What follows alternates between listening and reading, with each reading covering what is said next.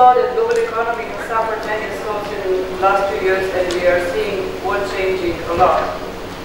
We have just pulled out of COVID, uh, which for more than a year almost stopped the world economy and as a consequence of all the subsidies and money issues, we are today uh, worldwide facing quite substantial inflation and problems uh, around inflation. Um,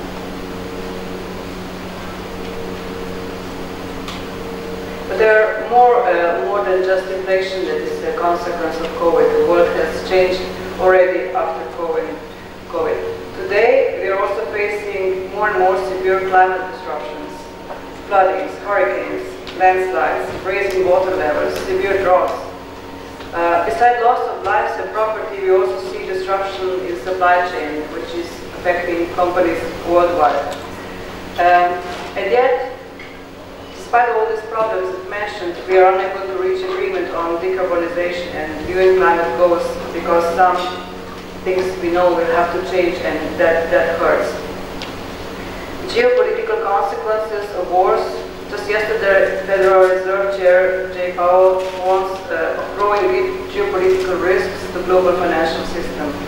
Middle East conflict and war in Ukraine threaten to have spillover effects to markets reducing economic activity and boosting inflation worldwide. Fourth disruption that might be bringing positive effect is AI revolution. Um, and we will try to address uh, all of the four topics uh, in this panel. Now I would like to start with our panelists. I would uh, first like to um, ask Mr. Yilmaz Argüden. Hello. Um, you said that you would like to talk about the change uh, in attitude and priorities needed for a sustainable future and the role of good governance and sustainability. Just for the start, introduce yourself and give us some issues that you start with. Sure, I'd be happy to. Thank you. Uh, my name is Yilmaz Argüden.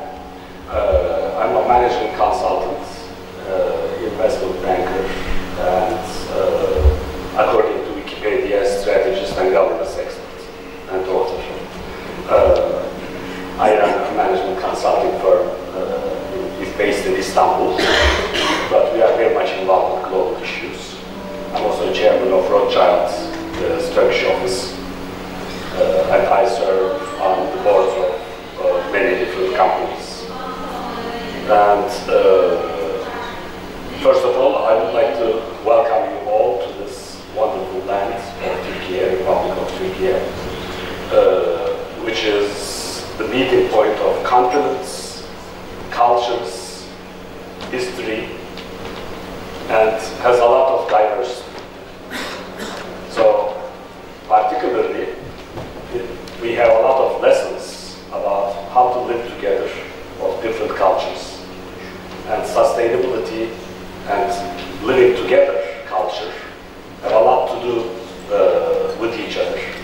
So I'm going to talk a little bit about that uh, when the time comes. Should I stop this introduction or continue? Up to you. Okay. Okay. First of all, let me start uh, welcoming you all. Good morning. Assalamu alaikum. Pax Vobiscum, Shalom Aleichem. All of them mean peace be with you. So the basically the spirit of all religions is about peace. And the basis of sustainability is peace as well. I hope peace will be upon all of us. As a matter of fact, one of the most important scientists, Albert Einstein, said Peace cannot be kept by force. It can only be achieved by understanding. We know that he had a deep understanding of the spirit of science as well. From the fact that many of his postulates are just being getting proved. Apparently, he had a lot of uh, understanding of the spirit of human beings as well with this sentence.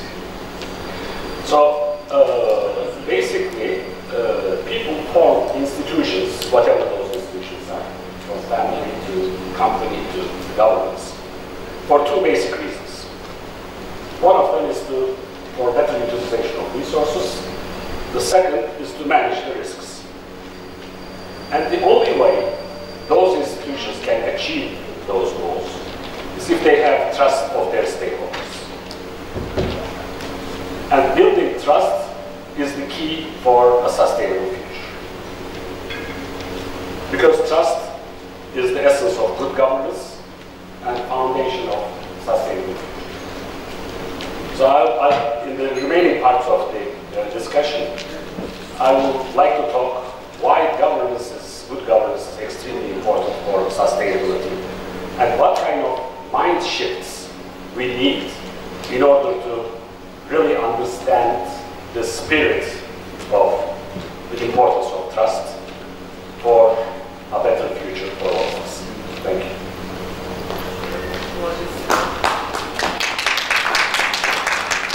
I can just sign what everything that you said because I think there is a lack of trust in this world everywhere.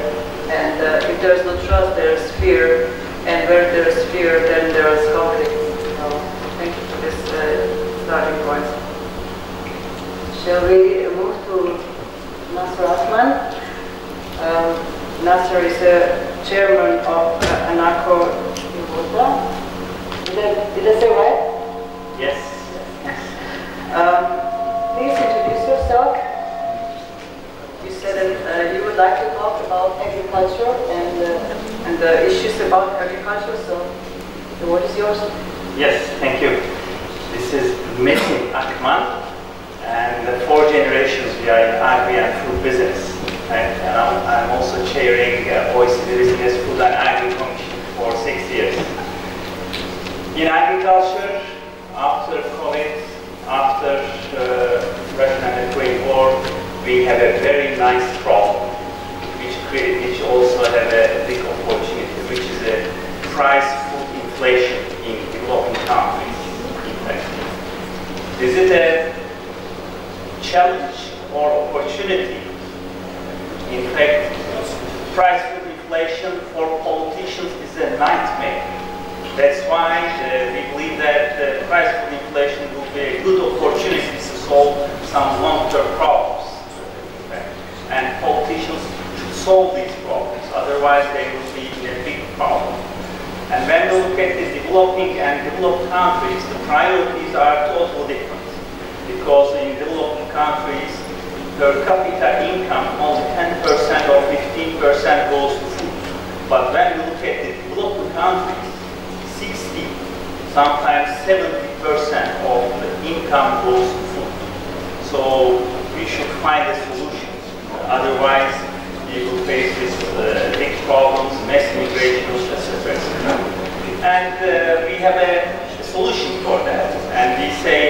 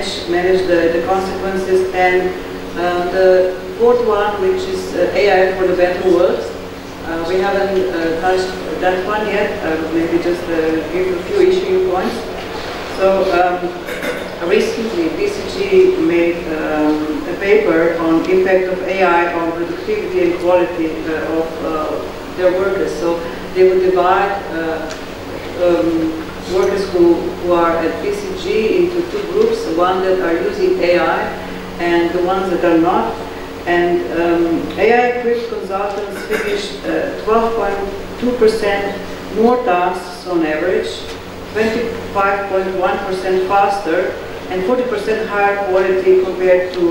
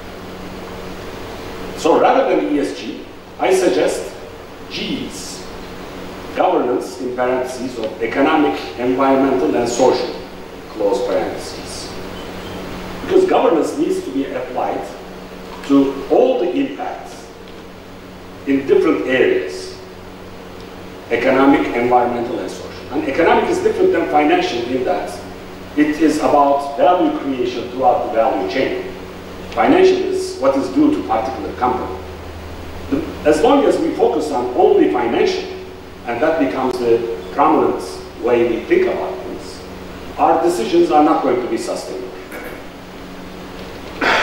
So the way we should be thinking about is governance of economic, environmental, and social impacts together. This means that we need to, first of all, expand our horizon, the dimensions, from only financial to economic, environmental, and social impacts in all of our decisions. Also, we need to think about not only the short-term quarterly reporting, but rather the long-term, broaden our perspectives. As a matter of fact, one of the most important basic tenets of all the religious systems. Everybody's belief is their own, but I'm a Muslim. In our religion, we have the uh, hell and heaven. But in uh, Hinduism, there's reincarnation. What are these doing? It is expanding our thought process to beyond our life, basically. Trying to expand our, the way we think about things. All of them have, all the religions have uh, social justices. Because if you don't have social justice, then you fight and you dissipate energy. You don't build trust. So the way we should be thinking in our decision making is we need to think about not only financial outcomes, but also the outcomes in all these other areas, and not only about ourselves, but also about all the stakeholders. So we need to expand our uh, decision uh, and uh, thought process to incorporate others as well. And uh, this also means that we need to expand the way we understand responsibility. The future of the CEOs or the decision makers in all uh, types of institutions, also including states, is that should not be constrained with what they can control easily, which is their own company. They should be able to influence the environment, and when I'm talking about the environment, it's not only the climate, but also the social environment, the trust environment, uh, oh, and the uh, environment, environment, all of them. Uh, and try to influence that as well. So our responsibility includes not only our own institutions, but also with what we can do with our own institutions, with our power, to make the world a better place. Which means that we need to focus more on collective action. We need to work together. If there is something not going right in one place of the world, it is our responsibility to help it, help solve that as well. Because if we don't do that, it is like a cancerous uh, cell, it's gonna grow. We need to take care of that as well. So I mean that we need to expand our horizons in terms of dimension, in terms of the different types of stakeholders that our decisions are influencing, in terms of time frame, and in terms of the responsibility area that we are thinking about. So it's not only what we can control, but also what we can influence. Only then we will have a sustainable future. And for this, in order to accomplish this, I suggest that, first of all, we, think, we start uh, incorporating integrated thinking and integrated reporting, because it is a move in this direction that I'm talking about. We need to think about long-term impacts of our decisions on all different dimensions. We need to do more impact analysis, which means that we need to consider double materiality. Not only what's material to us, but also what's material to others. Because what's material to others, in the long term, will become material to us. Assume responsibility for collective action to improve the world. And in short, as I mentioned, this land had lots of enlightened people. One of them, Yunus Emre from the 13th century, said that regard the other as you regard yourself. That's the meaning of four holy books, if there is any. And that's the uh, type of understanding we need to take for a sustainable future. We need to regard the others as we regard ourselves. And we need to consider the impacts of all of our decisions to all the different stakeholders and uh, act accordingly if we are going to have a sustainable future. Thank you. It's a very powerful words, we are, we are talking all, all the time uh, the word around trust uh, that is lacking in this world. Um, we all know that there are climate uh, problems and uh, we need to solve them, but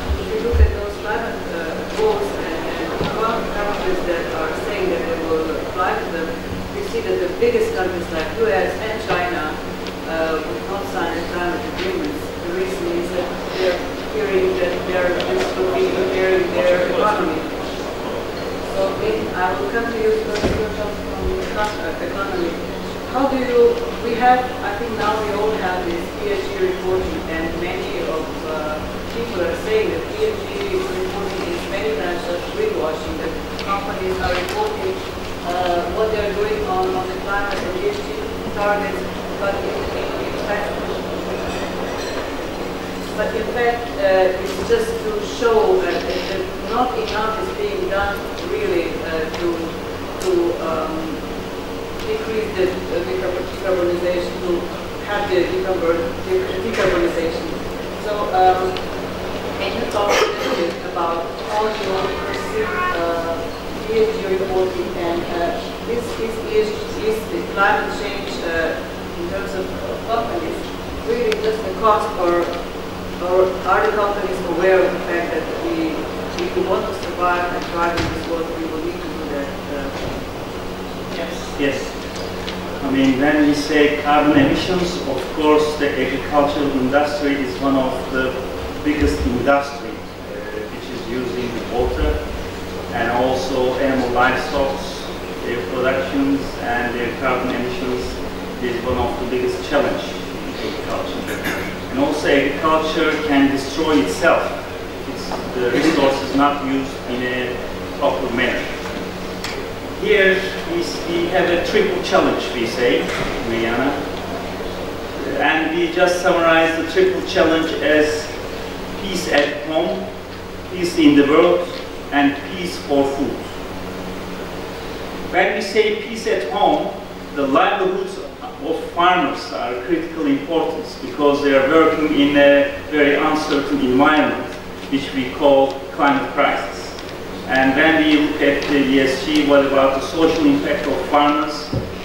Is there social justice uh, for farmers? Or in, uh, in another angle perspective, uh, in uncertain environment, how we will ensure their output? If, they, if because of climate crisis, if the output goes down, how we will finance them? Think of farmers in this environment they will continue to farm or not. These are the, let's say, the question marks. That's why peace at home uh, for farmers is uh, very important. And uh, also they have to use technologies to handle the climate crisis. And when we look at the average age of farmers in developed countries, it's about 60, 60 years old.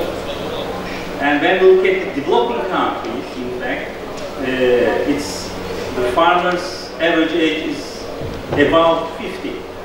And think of these colleagues and how they will use AI or technologies for agriculture is a big challenge. That's why how we attract the young people to agricultural industry, I think, is a, is a big challenge.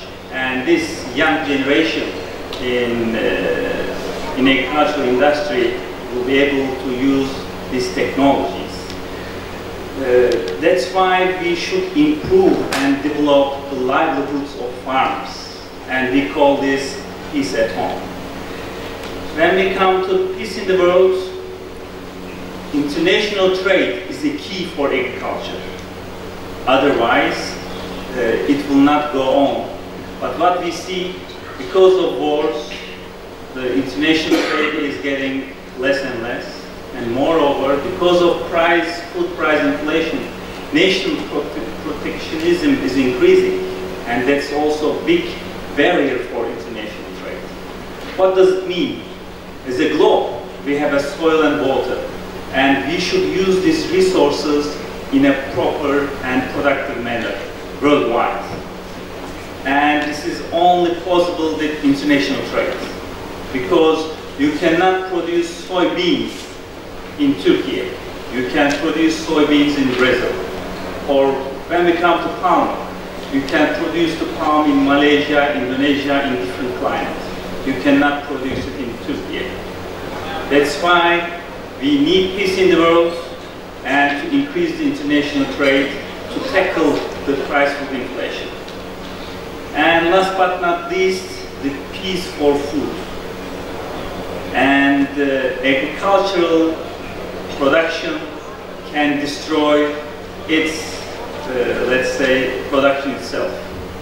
If you do not use the water in a good manner, that may degrade the soil. And how to tackle this? We need more technologies here. And drone technologies, precision farming, learning irrigation systems, uh, and we should, let's say, optimize or we should minimize negative externalities of agriculture. Otherwise, we can lose uh, our production and animal livestock. And also when you look at, uh, let's say, carbon footprints, uh, for example, as a social and environmental effect, the ruminants, the dairy production, the carbon emission of the dairy uh, can destroy the soil and water.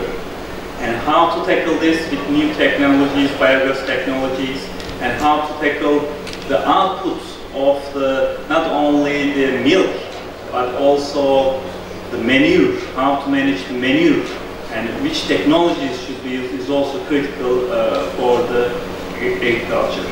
And we should not forget this, developing countries has huge potential. Why? Because when you look at their social demographics, young population uh, can handle the agriculture, and if developed countries transfer the technologies to developing countries, I'm sure uh, when you look at the populated globe and where the population is increasing in developing countries, there is a huge potential there.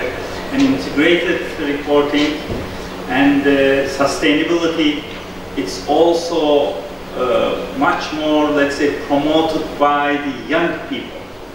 So we have a huge potential here uh, for developing countries to tackle the price food inflation.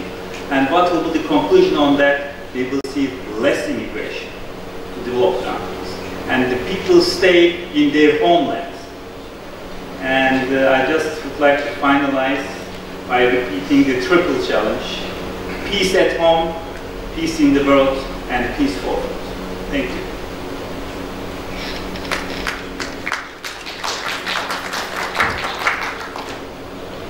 Thank you very much. It's a really powerful word, and I think it was, and I if, if we have peace, then all the other problems in the economy can be solved. So I guess that that should be the first priority. Uh, and as we said before, peace uh, can only be achieved in uh, if the sides listen to each other and, and look for solutions. It cannot be triggered by, by, by force. So I would like to come to maybe this- that would be a starting point for you. Uh, uh, so we are, we are talk, we are trying to cover the of climate change, but we all the time also, uh, the, the world is independent, so interdependent, so we, everything is connected. How, how do you see um, prospect of peace and how can, when do you see the investments, uh, especially in the environmental part will be discussed. So, yes, uh, first of all, I think if you were to uh, talk to anyone these days, everyone is fearful about what is, what is the future. Um, Just speak louder, please. Yes, okay. Um, in the last year or so, we've had conversations on the ground in Ukraine about how the conflict between Ukraine and Russia can spread to the uh, broader world and world economy. Uh, and we're not just talking about food inflation, we're not just talking about economic consequences, but also political consequences. Because if you look at the two wars uh, in the past, the regional conflict preceded before the World War. And now we are increasingly seeing a conflict in the world where uh, conflicts are now being seen in the Middle East, Africa. Now the only difference that we believe is going to be uh, uh, hopeful is that we are in uh, ever more interconnected world today than we have ever been before. Uh, with the internet, with international travel, with the fact that today we're all able to come here to Gaziantep and talk about international cooperation brings us hope that through uh, uh, international trade, uh, we can uh, minimize that conflict. Now, um, to do that, we need to have a long-term planning. We need to have, we need to start talking about uh, making plans for the longer term, not just uh, on the quarterly financial report, as you had mentioned. and we also need to focus on peace, where we need to start thinking about how uh, our actions, corporate actions, can affect uh, social behaviors. So corporate social responsibility has been talked about for years, but conflicts now happening around the world, it's ever more important that we need to look at how can we bring peace uh, from uh, a business point of view. And um, by doing so, uh, by having a interconnected uh, trade, by, by by having more trade, in theory, we should also reduce inflation. The fact that AI is now taking place, uh, technology in general,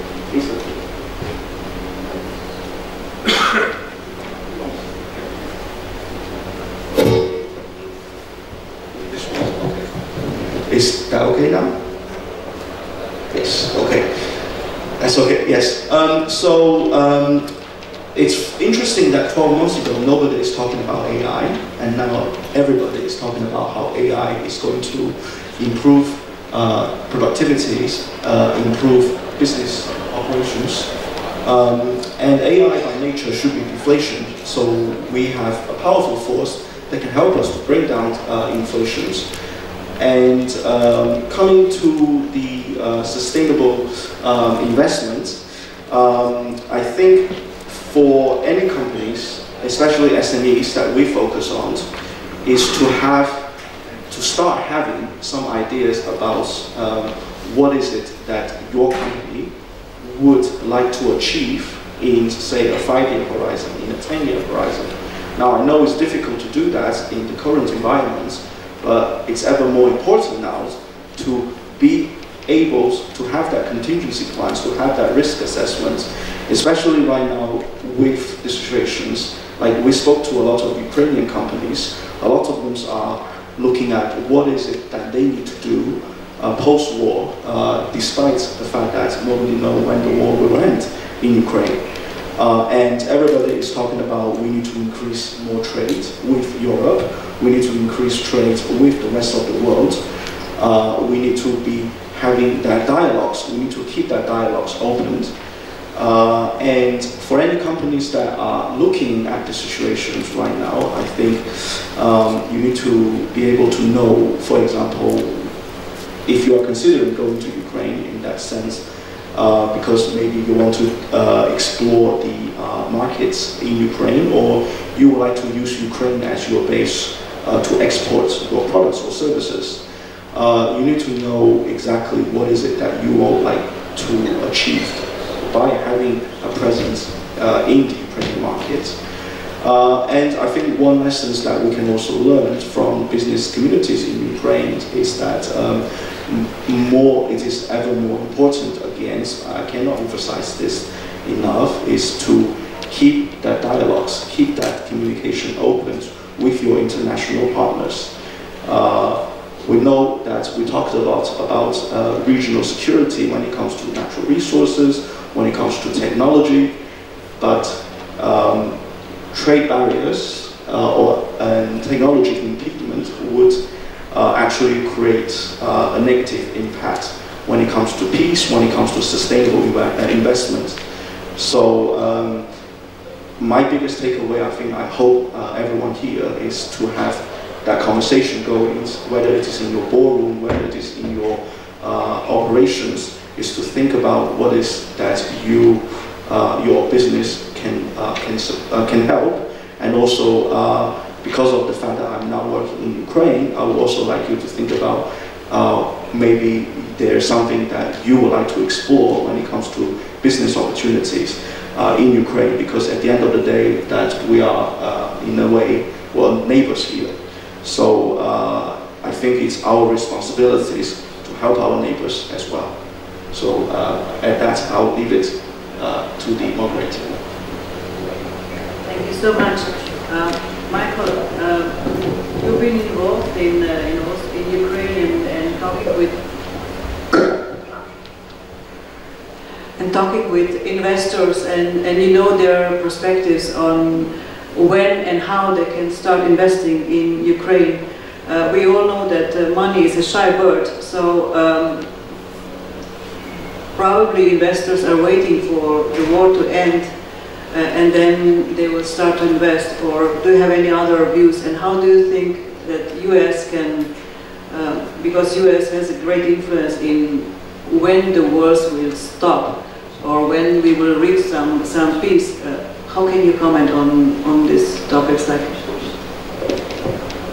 Sure, thanks. I, it's, it's maybe a bit flattering to say the US, US has influenced. There may be things that happen in the US that are crazy that influence what happens at the end of the day there. But um, one thing that we've frankly struggled with and are, are working towards a solution on is that um, there's a lot of coverage in the media about corruption in, in Ukraine. Yeah, or even just say, you know, corruption is a big word, you know, misuse of funds, whether those are for armaments, whether those are for rebuilding. And when you talk to people in Ukraine about meta principles like peace, corruption, everyone agrees, right? It's not like there's people there who engage in bribery and then call their parents and are proud about it. And, you know, say, look how great a job I did at either accepting or receiving a bribe. So we've struggled to try to find, in practice, in practical terms, what can you actually do that's sustainable to increase the amount of effect and impact that money could have if and when it comes in to invest. And that's required really meeting with people at the local level, meeting with them, talking with them, and understanding what their lives are like and what pressures they are under. And so you know, you do need the right, you know, culture and tone from the top about, you know, having a view that said corruption is bad or that certain uh, countries are trying to harm Ukraine and that they, people need to be aware of that. But then you need to actually, you can't just walk away and consider the job done. You have to then talk to the people on the ground and explain to them, okay, well, look, if you want to get investment from European governments, European banks, US government-backed uh, funds, US banks, there's going to be expectations about governance uh, and how you use the funds, and that we can help you understand that. What we've also found is that trying to actually explain the law puts people to sleep, uh, and isn't that really useful to people in their practical lives. So we try to show them examples of the impact of corruption. And if you're talking about development funds, for example, you can show people, well, look, there's supposed to be a school here, there's not a school. Or there's supposed to be a road, and it's just not there. And where did the money go? Um, with Ukraine, you have some very violent and immediate examples of what happens with corruption. Um, a few examples that the Ukrainian audience enjoys are the sinking of the Russian missile cruiser, the Moskva there are reports out of Russian media that one of the reasons the ship wasn't able to defend itself was because during uh, repairs that were supposed to upgrade its missile systems, the captain of the ship fixed one missile tube and pocketed the rest of the money. Uh, obviously a great impact to the lives of the sailors on the ship uh, and to the, that country's standing. And so using examples like that is much more impactful in Ukraine and dealing with Ukrainians. Now, talking about rebuilding a city here is not nearly as dramatic as that, um, but there, there can be benefits to really engaging with people who are actually involved in rebuilding efforts uh, here uh, and really in any country. What challenges do you face? What's hard for you to implement as far as these big picture items uh, and really engaging with them in a dialogue about sustainable ways and tools and practices and processes that they can implement to do that. We have one question there. do you mind if we just uh, finish this first round and then we will you get the so you're you're let's say that you're representative of Europe uh, in this panel. Uh, how do you see um, the Europe um, how it is impacting the world at the moment. Uh, we, we can see that Europe has a, a lessening uh, effect in or not so much world uh, as it used to have. Uh, how do you think that Europe can help in uh, solving the climate problems and, and also the peace in the world? Very good question, I can give a clear answer on that. Um, so Europe is currently uh, making much less impact than it could. Um, there are several reasons for that. There are currently um, different uh, problems affecting the uh, states of the European Union. We have uh, ongoing mass migration, now expecting more uh, through the Middle East conflict. Um, Europe, especially Germany, uh, is facing an economic crisis. Uh, Germany is the only country in the OECD group facing decrease this year. Even Russia, which is now one of the most sanctioned national economies worldwide, uh, facing plus 1.5, 1.6% growth according to expectations of the OECD. Um, and in addition to that, thank you, that works better.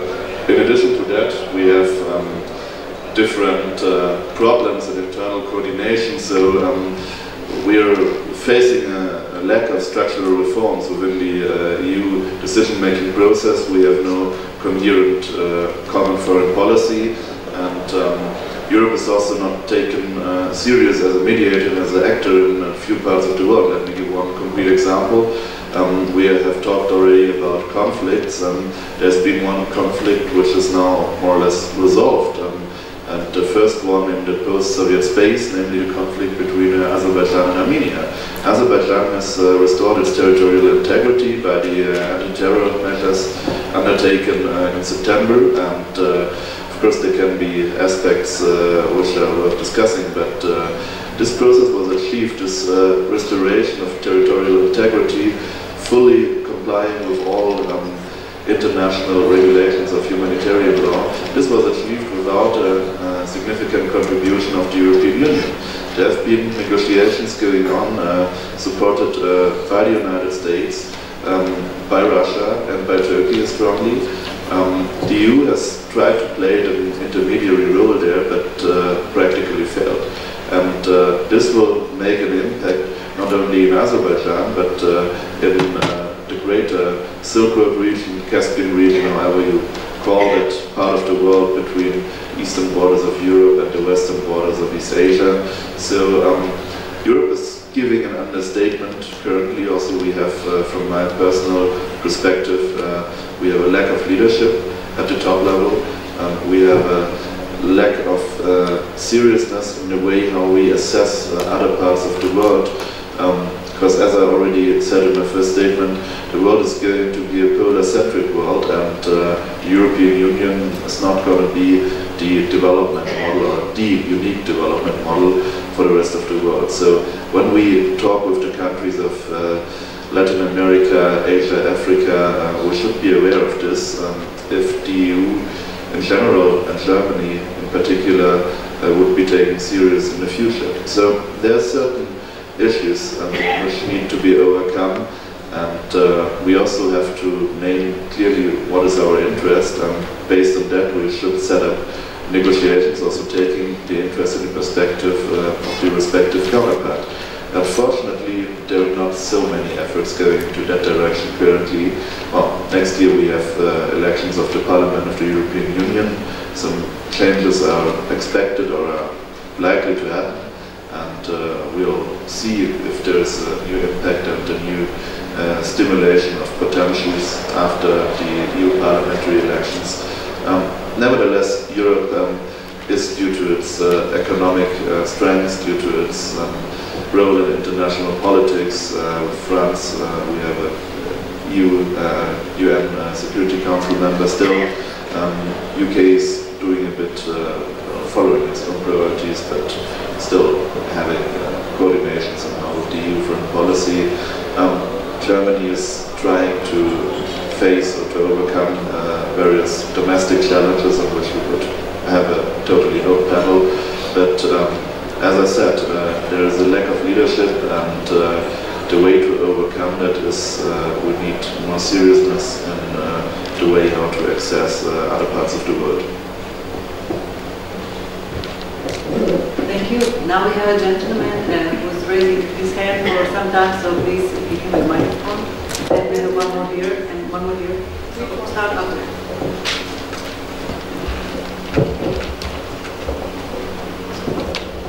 Uh, Thank you, Roger, um, from knowledge as I come over from Singapore. Um, uh, Forgive me, I can't uh, quote all of the different um, panelists who've raised points, but just to paraphrase, I'd give it to Mr. Ugly, and he talked about sustainability being about saving uh, the planet from ourselves, essentially.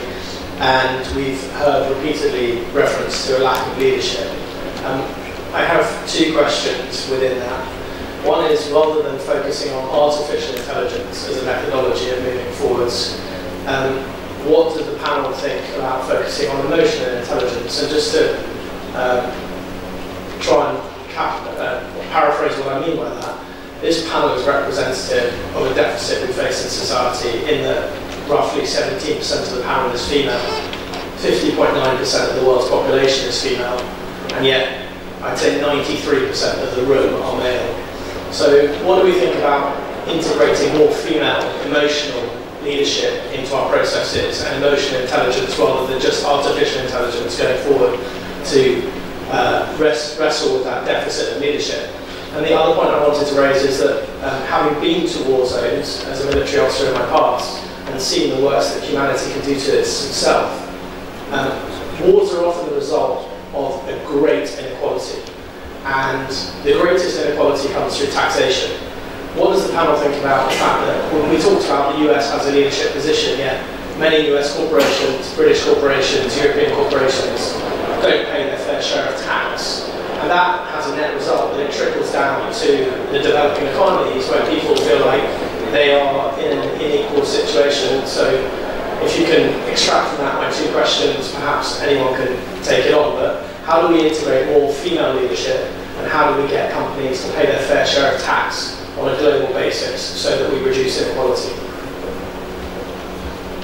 Thank you very much. These were two really great questions. So who is going to go for the first one? Thank you for Thank you for uh, good questions. First of all, I think uh, in the leadership and decision-making uh, authority, we need diversity of many different dimensions. Definitely gender diversity, but also age diversity, but also geographic diversity, diversity of experience. That is extremely important. By the way, I'm working quite highly on getting gender diversity at the boards. We have programs, education programs, mentorships, and so forth that we have developed. So I'm a true believer of that. But uh, I think the diversity, we should not think only about gender diversity.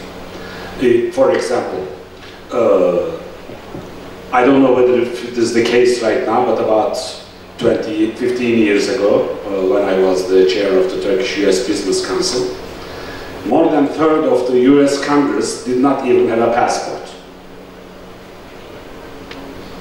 And they made decisions about the world. Okay. In terms of taxation, I think our current taxation system definitely needs a major overhaul. Not with respect to only how much from whom, which is very important, those are the questions that you mentioned, but about how we should tax people. Because our current tax systems are focusing on what we can measure easily and how we can collect more easily. Whereas we need to tax negative externalities, not positive externalities.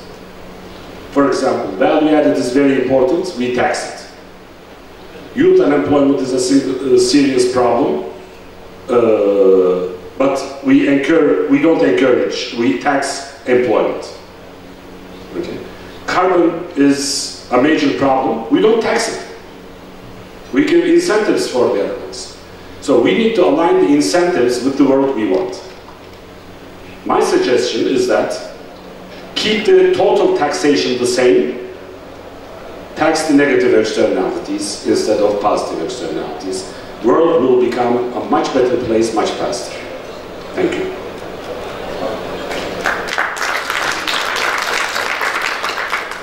Absolutely agree, not just corporations, but also in, rich individuals are not paying the taxes as, as the rest of the population. Uh, who is going to tackle the second one, or are we going to have another? We, we still have seven minutes left, so please uh, be short and so that we can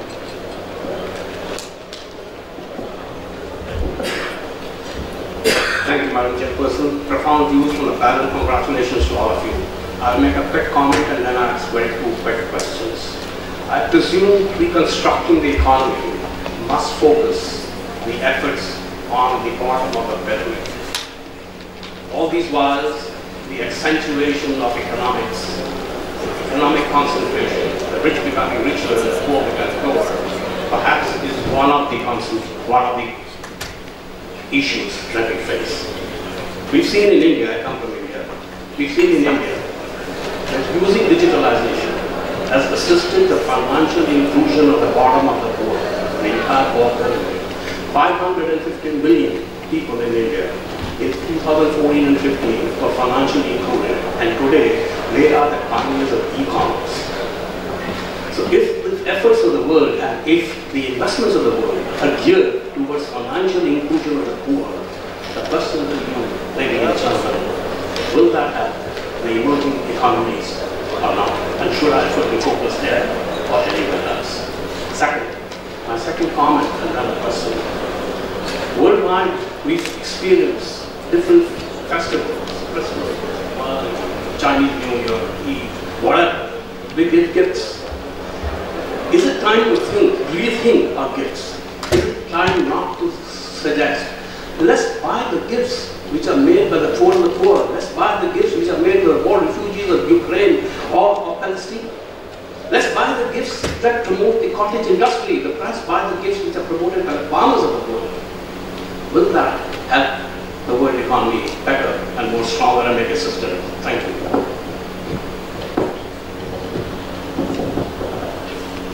Thank you. Is anybody commenting on the on the first question, which is on um, AI and can technology improve the, the the poor, the status of the poor?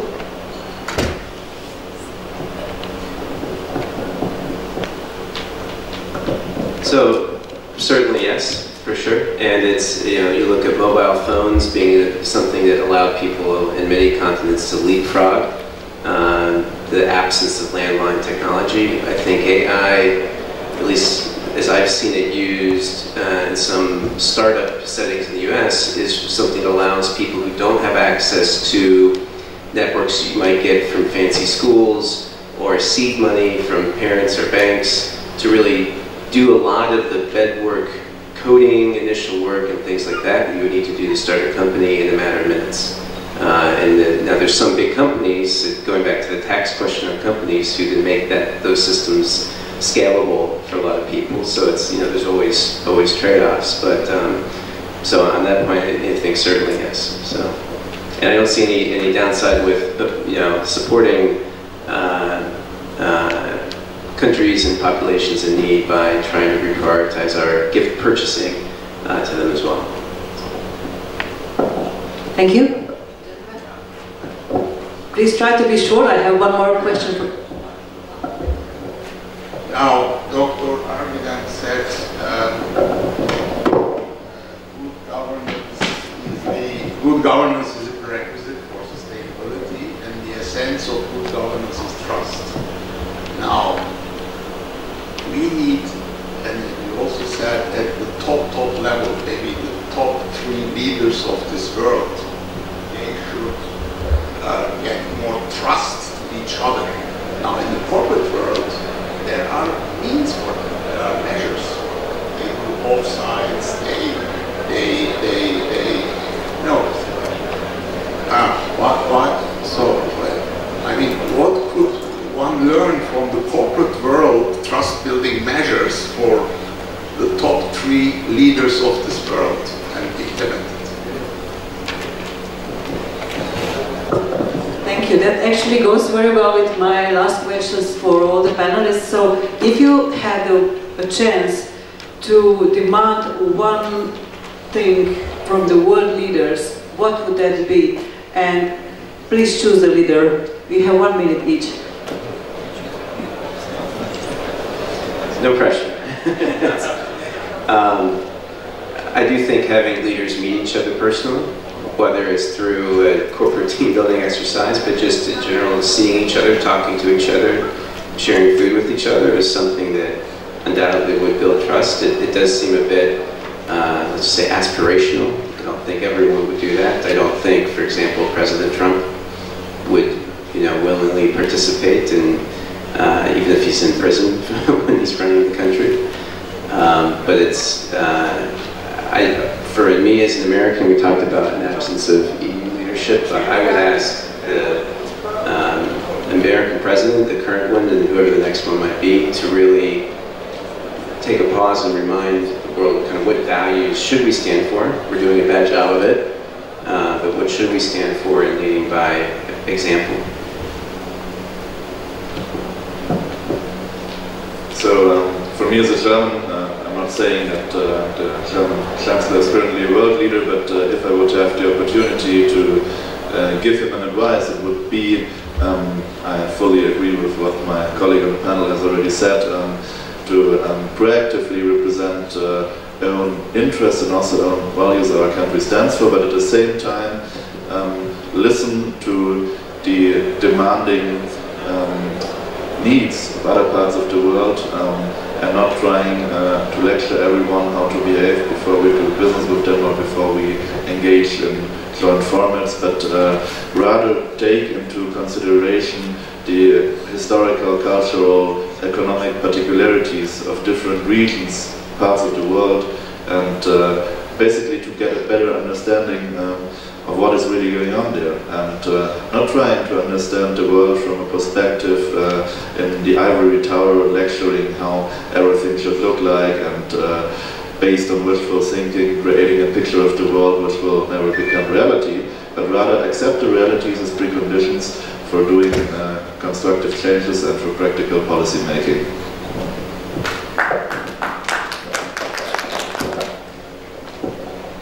I would like to suggest uh, intellectual construct, and if we were to believe in this construct, it is not real. The world will become a much better place.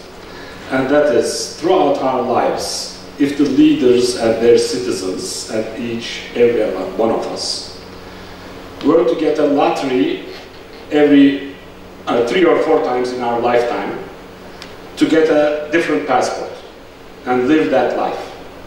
If we believe that, if we truly believe that, there will be a lottery, and part of our life will be a Brazilian, part of our life will be an African, part of our life will be a Chinese. I think the world will become a much better place. And uh, for the leader example, I would definitely pick Atatürk, who was a great, not only a military leader, but also a state builder. And the most, one of the most important statements of him was peace at home, peace in the world. And he has said, even those who were fighting and lost their lives in our land, coming all the way from Australia or whatever, that they are our sons as they left, the, left their lives here. He was the one who did not uh, undermine the leader that, uh, the military leaders that he captured. He fought for many, many years. Trying to build uh, peace, and he also said that war is a crime unless it is protecting your own territory. And at the 100th year of Republic of Turkey, I think we should commemorate him and we should all consider to accept peace at home, peace at world, and think of each other, everyone, as one of our own, regard the other as we regard ourselves. Thank you.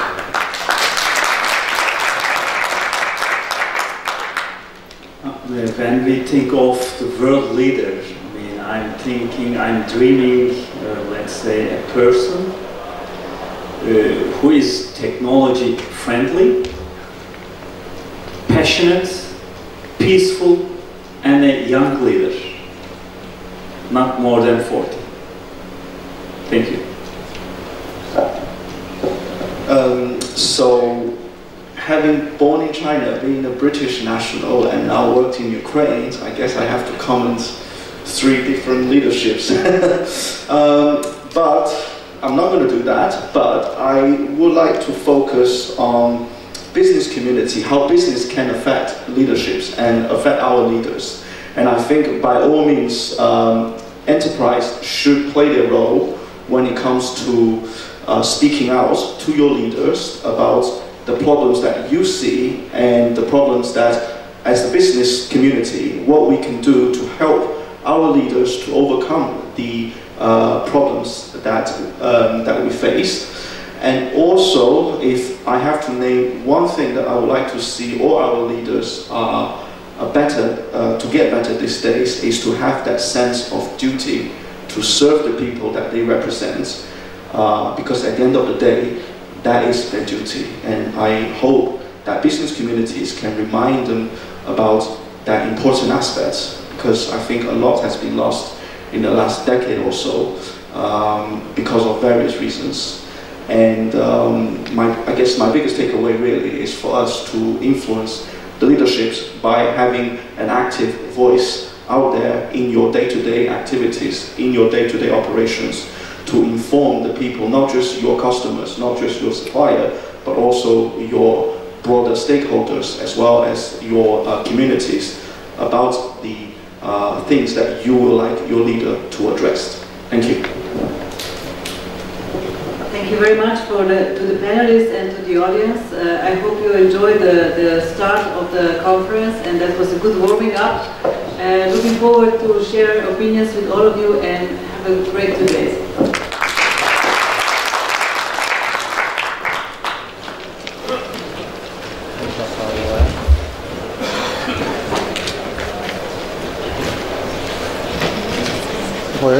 Let, us get underway. So uh, this is the, um, the, the uh, Fostering a Global Public Good uh, Forum. And uh, I'm very pleased to uh, welcome a small but uh, keen number of participants. And um, we have actually um, five speakers, and if a couple of them show up late, we'll just continue. But because one of our speakers has to leave for the airport early, uh, we're going to uh, start a little bit uh, perhaps ahead of schedule.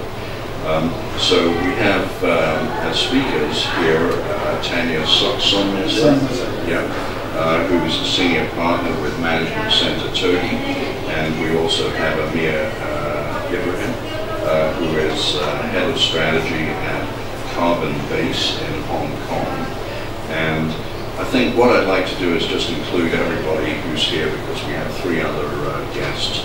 Um, and the question I'd like to start with is what do you actually mean by the global public good? What, what is that, does that mean to you as a term of reference? Uh, so maybe we, we start with you, Tanya, and uh, then uh, uh I mean, start that way. Do something good for the planet first. I think that's the number one goodness I would say. Why? Humankind declared a war for this planet. If it wins, it will lose. So therefore we need to make this planet available for everybody as a good shape. Second, for the people. And the people each and every dimension. And then for the profit for the companies. So I would put the public good uh, order, starting from the, the planet and all the environment, and then the people, and then the corporates. Uh, that's how I interpret uh, being a good or good state. Right. So let, let, me just ask you, if, if I just said what do you mean by public good as mm-hmm. opposed mm -hmm. to global public good? So mm -hmm. you take take the planet out of okay. the definition. What okay. do you say public good? Today, uh, the people uh, in any given country, they are fighting in several different dimensions of their life. Economically, they have a high inflation and the environmental, they are fighting with the limited resources. And then in terms of conflicts, as you can see all around the world, it is not good for people. And last two weeks ago, 10 days ago, uh, in Belgium, two Swedish people has been killed by uh, someone who's uh, kind of, say, immigrant in this country. So it is not good first. And this is increasing. And in, in my country, we have 10.7 million immigrants. So it is not good for us, good for them, good for all. Therefore, in a nutshell, I would say uh, living in a peaceful day-to-day life is a public good for me. Basic day-to-day, Okay, so very it's standard it's sort of Maslow's hierarchy Yeah. of needs, Yeah. security and safety. Yeah, is and, sort of uh, and we number have some one, issues right? with this food would be number two, and Yeah. shelter would be number Yeah, three. self-esteem we have still too far away. Right, got it. Okay, all right, that's a very good start. Well, I think that the standard um, metrics of what constitutes uh, public good, you know, being free from discrimination, access to, um, as you mentioned, um, I think certain basic needs, whether it be housing, healthcare, you know, we can conceptualize around that, you know, there's philosophical questions around it. Within the 21st century, you know, I think looking at the environment, you know, and actually identifying what does a prosperous and healthy life look like, considering, you know, as global society, you know, the knowledge that we share, the resources that we understand know, our world to have, and those that maybe should not be exploited due to climate change. You know, what are the limitations around that, but that can still support, you know, this ecosystem of human beings around the world being able to live a life that is just, free, you know, uh, again, a life that offers aspiration to you know people around the world. Now, that might sound um, idealistic, and I think that um, uh, I wouldn't necessarily reference egalitarianism as uh, a sustainable metric, you know, one that you know, I think that there will always be inequalities that exist, but you know, mitigating inequalities to allow everyone to live a reasonable life that can, through aspiration, be improved within one's lifetime, I think is what I would summarise as being within the context of the global Uh, so, um, what you were saying sounds a little bit like the UN Declaration of Human Rights. so, is that is that an appropriate statement of what public good means? I think that to, to refer to the declaration is you know quite timely because we're now at an inflection point. You know we're um, you know coming up for 80 years following the end of World War II, and I think that those aspirations that existed then should still be striving you know upon today. The world in 1945, you know, still going through the transition from the colonial world, um, where you know, immutable characteristics, you know, that defined barriers between human beings in the past were still um, used as levers of you know, inequality, discrimination. You know, now, as we would like to think, you know, we're more advanced you know, people globally. These should be non-issues today, but they still continue to be in many parts of the world. Um, I think that headwinds now regarding, you know, if you look at politics today, you know, particularly due to climate change, there are certain things that are beyond the realms of you know, individual ideology. You know, I think that global politics must now transition because there are existential questions about how you know, how we are going to, you know, how future generations are going to be able to live on this planet. And, you know, if continued um, human created barriers, you know, through bad governance or um, you know, authority and rule continue to supersede the priorities that should look at what is the most sustainable way we as, as we as society, we as a global society can evolve, develop, and you know, continue. I think that, that you know, I, I don't. I think that we have to have a very mature understanding of what is ultimately um, in the best interests of humanity as a whole. And recognise the mistakes that have been made over the last 18 years. There's ongoing conflicts in the world that you know still not been resolved, and understand you know where we can mitigate those uh, issues you know as far as possible. All right, Jennifer, have a go. Can you Um, turn, turn your mic on? So I would, I would echo everything that has just been said and add in that, that it's also about an orientation, you know, what purpose is, is society striving for and we have lost our way very definitely over the last 50, 60 years in terms of our economic and our societal organisation. So it's about, we can't ignore climate and compartmentalise it. It's absolutely integral to everything else. The next generation is integral. And having access to basic services and having a society that's orientated towards the alleviation of avoiding suffering is also in there. Um, you know, I'm just wondering uh, whether or not, if we didn't have the climate change environmental issue, uh, which obviously is planet-wide, you know, would we be having this session, do you think? It's a very good question, but I think that war focuses our minds, and I think that for many of us, we're still preoccupied by the imbalances that exist, the hundreds of millions that go to bed hungry while in the wealthy West people struggle with obesity. So I think that in- inequality is an issue that would be bothering us irrespective of of climate. So the uh, Washington consensus in globalization pulled more people out of poverty than anything else probably in human history. Um, words, free trade um, of the 80s, 90s, and 2000s.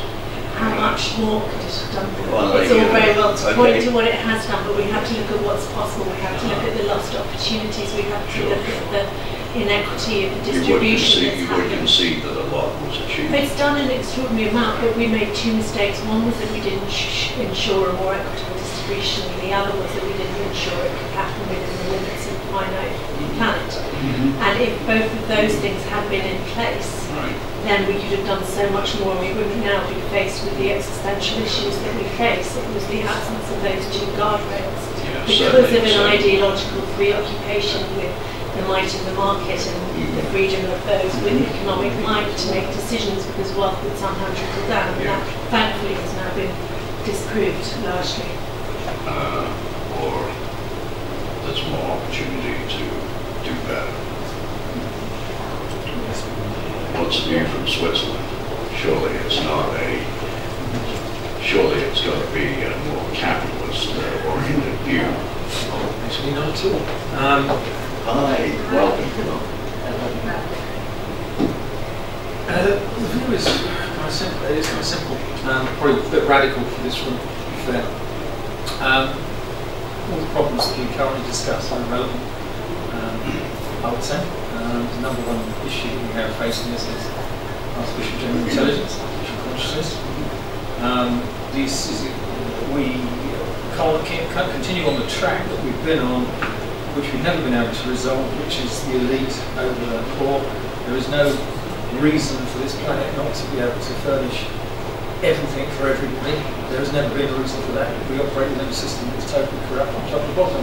And it's corrupt within the educational system, the work system, the commercial system, the political system, every system.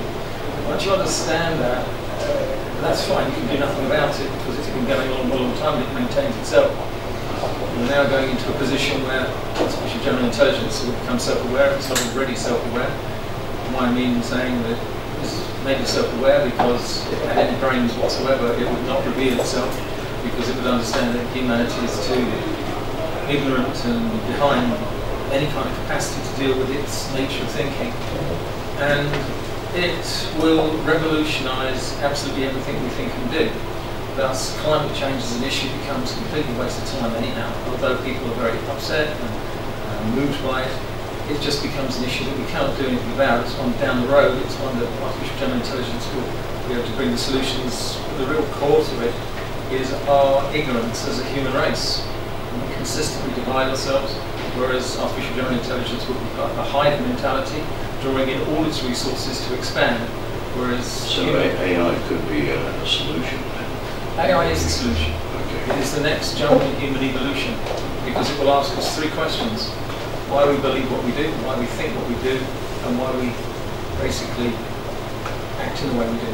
Okay, well, I'm going to come back to AI uh, again because I think uh, very important what you just said in terms of remediation through AI. Uh, would you like to have a comment? Uh, uh, we're just all inclusive. Okay. okay. I think I'm late. Uh, so, I, I think I'm late. I'm no, so no, you're, sorry. you're, you're, you're on time. It's the rest of the world. Yes, that's I late. thought that the time.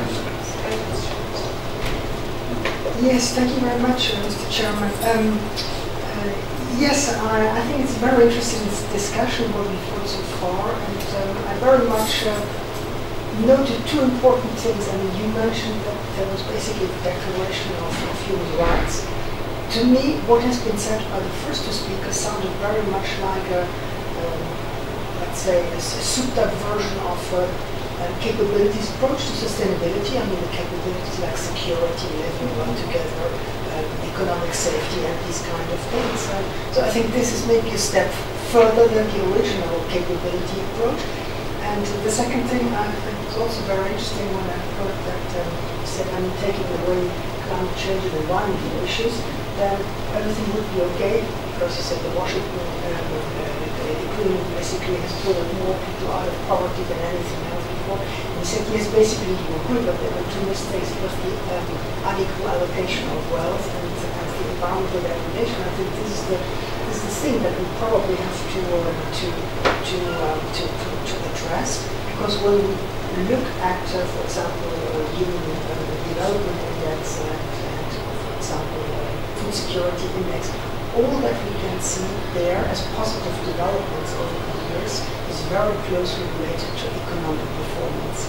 But this is all bought at the expense of environmental degradation. So I think this is the crucial thing to solve. And of course, the, the, the, um, the um, um, allocation of. Basically, this is the, the program of uh, ecological economics. And, and there's,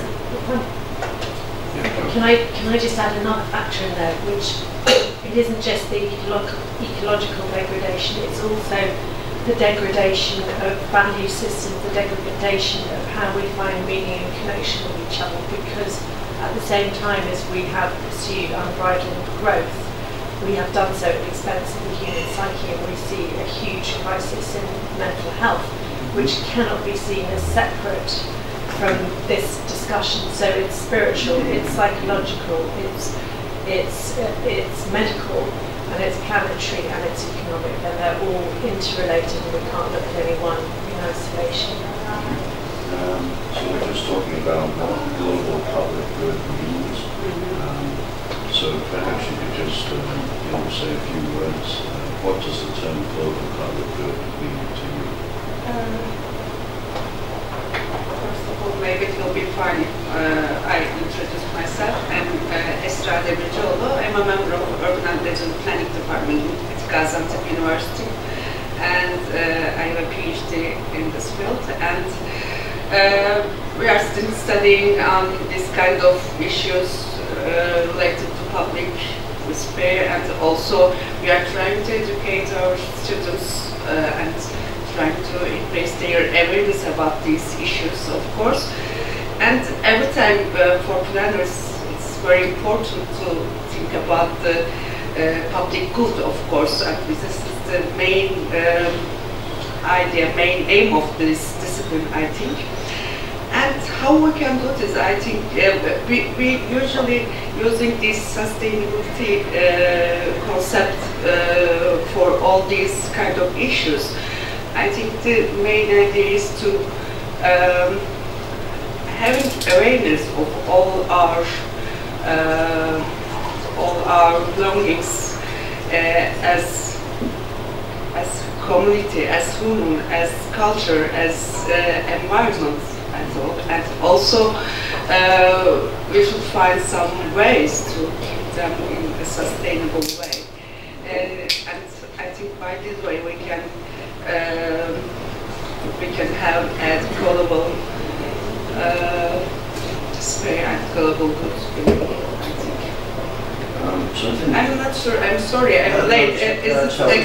That's okay. That's That's okay. Um, so what, one, one issue then that you, you raised is awareness of the problem. So, you know, what, whatever level of problem you think uh, may or may not exist, do we have enough awareness? You're welcome to join us. Do we have, a- Is this at 2 p.m.?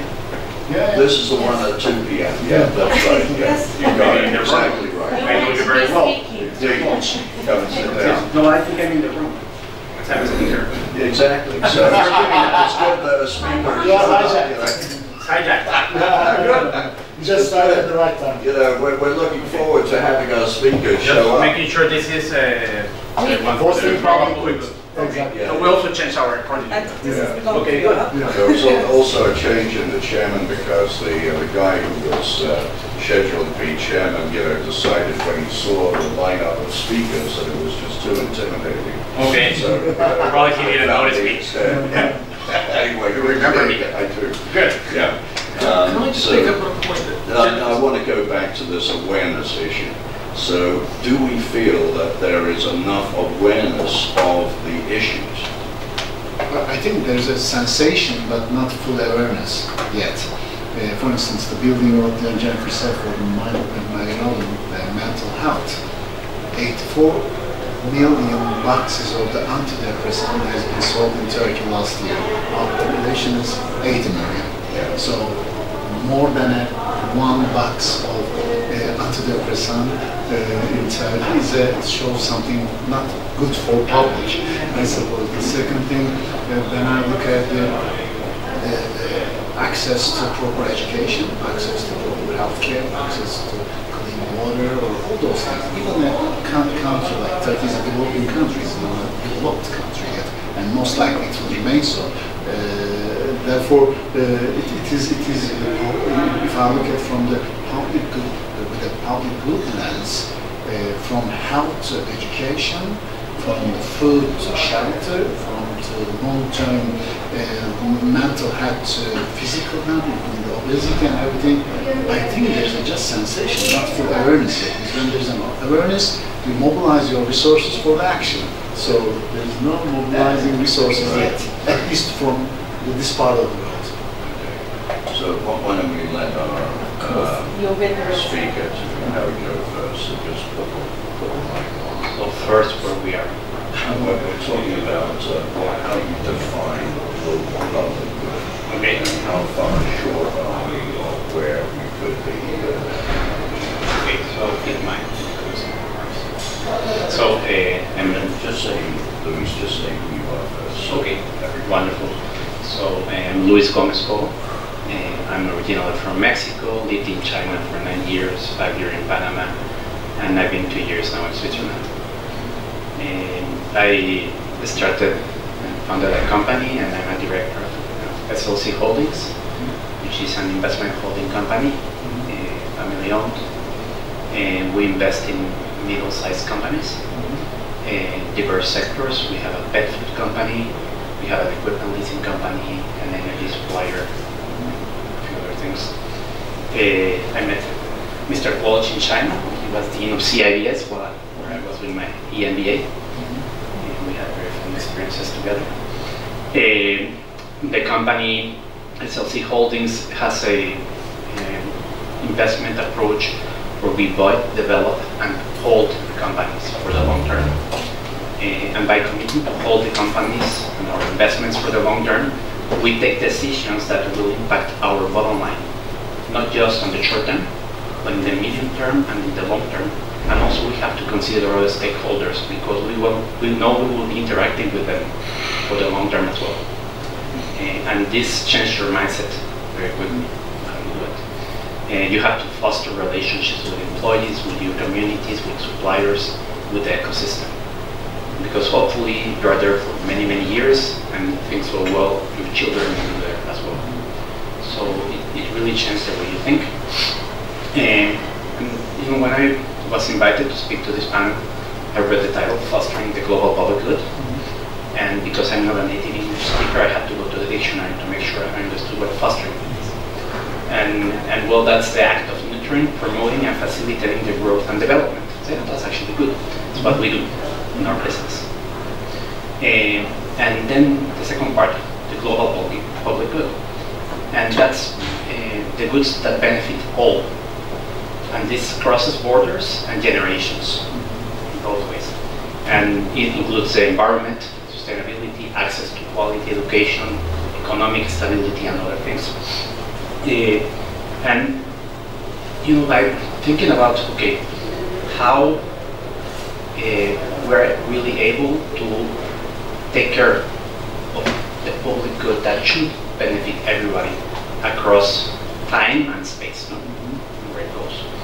And you know, for those that I'm not too old, but much young now, but we've been in business 20, 30, 40 years, I think it's quite clear that there is something that remains very consistent. Uh, and we see it more and more, which is this growing understanding that transition into clean energies, taking care of the environment, uh, building smart cities, uh, building better, better systems of education.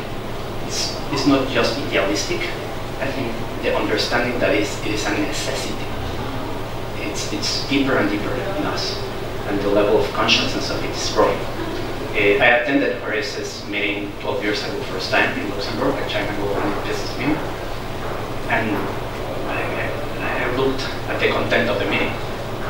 It's nothing resembling what we're talking about. You, you can see there is there's a movement into this, even in this say forum. Um, and um, you know that what actually strikes me is that there's a paradox because we see this understanding of the need for change, the need to take care of so many important things, but at the same time, there's a resistance that's persistent. And, and one needs to ask why. Why do we have this resistance for change? And you, know, you ask around and people say, okay, there's a regulatory environment, or perhaps there's a cultural inertia, or maybe there's opposition from ingrained personal and institutional interests, or maybe there is a disconnect between the understanding of the needs and the understanding of the impact that our daily actions have in solving those needs. And I'm a strong believer in the last, clearly. Uh, and we need, we need to, how do we solve this paradox? How do we, we solve this paradox between the understanding and the understanding of the impact of our actions? And I think it lies on in our ability to adapt, to convey these universally beneficial ideas in ways that resonate with diverse cultures and with diverse regulatory environments. And also different government styles, different religions. There's, there's so many background that each of us has in order to accept change. Uh, and I believe that an increased level of consciousness in individuals should be a very important way to go to achieve these goals, uh, especially those of opinion leaders, decision takers, and it's really required to create and promote sustainable change. Okay, um, so uh, just for those of you who just arrived, um, uh, we're just talking about you know how you think of defining global public good. Um, so maybe I'll come to you in a couple of minutes and uh, see what your comments might be on that issue. But uh, I just want to ask uh, Luis, um, you know that that was a very um, a very if I may say so, since we know each other, uh, a very corporate statement uh, about, you know, uh, how wonderful we're doing and how we've embraced stakeholders and so on. Um, couldn't you be doing a hell of a lot more if you didn't make quite so much profit for your Swiss bosses? Mr. Chairman, schon see you. oh, okay, okay. Pleasure. Yeah, good. Uh, we have quality. There's definitely no need for that. And- but just and- and time control. yeah. I think we can just start. People are arriving. Hey, listen, we started 30 minutes ago. Oh. I, can't, I couldn't care less who the finance minister of Turkey. Great, yeah, but carry on, time. carry on. Great. It's a lot of fun. Okay. Okay, that gave you a. I like it. that gave you a I could think a little bit. you have to answer Thanks, Frank. so just in time. No, I think uh, as an investment company, our goal is to make money. Be clear, we, we have to make money. Then what do we do with the money? That's another question. No? That is linked. No? Uh, but a company that's an investment company and doesn't make money will do not any good. No? Because you're not able to operate. So uh, the best company that will promote uh, good and wealth is a, is a rich company. Poor companies actually do a very bad job at that. They pollute more, they, they pay wor- worse salaries, they take care less of their communities. So the best companies that can succeed performing well are those actually with very good IRRs. So as, as, a, as a business owner, as an investor, what you aim to do is, okay, I build a business that's profitable, that creates wealth, that can reinvest itself and grow over time and create more wealth. And then you try to have shareholders that when they receive their dividends, they decide where to allocate those dividends. And if you have a good group of shareholders, they will end up, a lot of them, also in good things. So it's, it's a matter of building an ecosystem as a company that promotes wealth. And this has to do also with the same point, which is consciousness. What do I do with the wealth? I go attach a boat, or I do something else. Right, so why, why don't you just answer the question you just asked? What do you do with the wealth? You build more companies. no, really. really I- you know, when, when I grew up in a, in a farm, eh, and, and my father was a very successful farmer in this environment, and at the highest point, uh, he had 150 employees, different farms and different things. And you know, he was a very conscious Catholic. You know? And once I asked him, you know, maybe 15 years old, what are you doing for the others? You know, as a teenager, you just work. And I said, no, no, I create jobs. And that's what I do. I create good jobs, I treat people well, I pay them well. And most of the employees are still working or instance with my brother. So I think that's valuable. When you treat people well, you give them good jobs, that's, that's what you do with, with the profits. You create wealth. And again, a poor society is not a good society.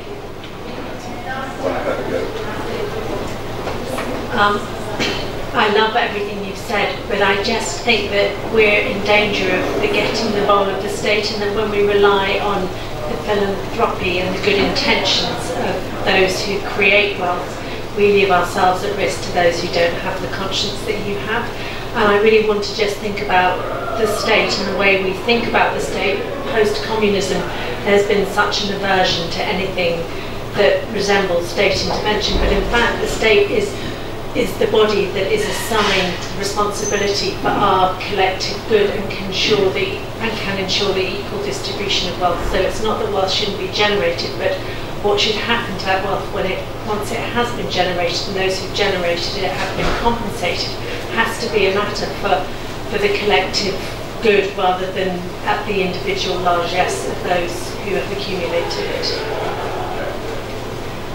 That is a massively provocative question, and I think, you know, some, you guys are all business people, right?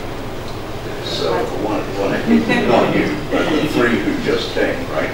So, you've just been, you've just been given that challenge. How would you respond?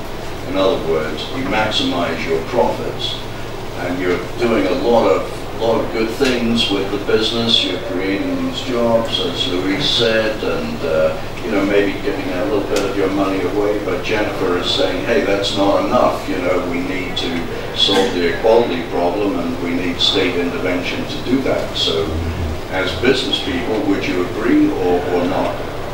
Go ahead first. Yes, Uh, just say say who you are, so we can put I'm. Hamdin from Egypt, and we uh, operate a, uh, a woodworking factory going around a thousand people.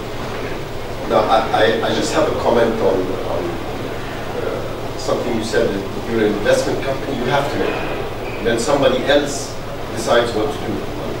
Uh, that's a bit shady. Uh, I'll give you an example. We had uh, a couple of years back, uh, uh, I'm second generation in this company and uh, the third generation in the company. We had a meeting and I posed a question to them. Okay, now we, ha we have, we can make a decision where we give a thousand people uh, a better health insurance. Do we do, do that or do we or do we split it as dividends? Now that's and it was a question posed to them. And uh, ultimately, after a debate and a discussion, we decided to go with the health insurance, bettering the health insurance policy we had for a thousand people, uh, which led into their families and uh, they didn't But really maybe you also raise the dividends if you, it's uh, eventually it's uh, you don't lose people. they, they, they, they they took it following advice from top management as well because it was they saw that that was the flow we wanted. And and I basically said to them well you can all go and buy new cars or we can do this. And uh, they decided we, we do that. Uh, the payback was very uh, very quick and uh, they started getting calls themselves from uh, from family members of uh, employees thanking them for what had happened. And it, it led out to uh, and changed the culture in, in the whole company. So uh, I don't really think that um, I can go along with we're an investment company. We make the money and then somebody else decides. Uh, for me, if we can balance the books at the end of the day and go home have a nice sleep, that's that's good. It's uh, I want to live a comfortable life as well, but uh, I always ask the simple question: How much is enough?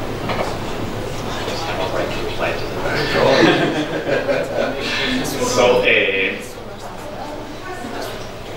we have several companies which we have invested.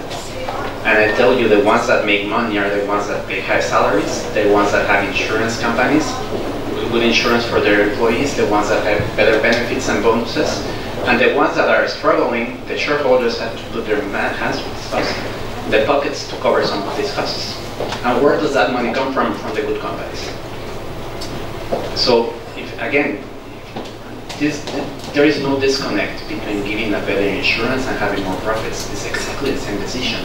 And I think the, the concept of business being the bad guy in the room is wrong. This is totally wrong. The, and the concept, the, the concept that the fiduciary responsibility of the board member is to take care of the shareholders and that that is disconnected with taking care of all the other stakeholders is wrong. Because if you take care of every stakeholder, your shareholders will do well. That's it.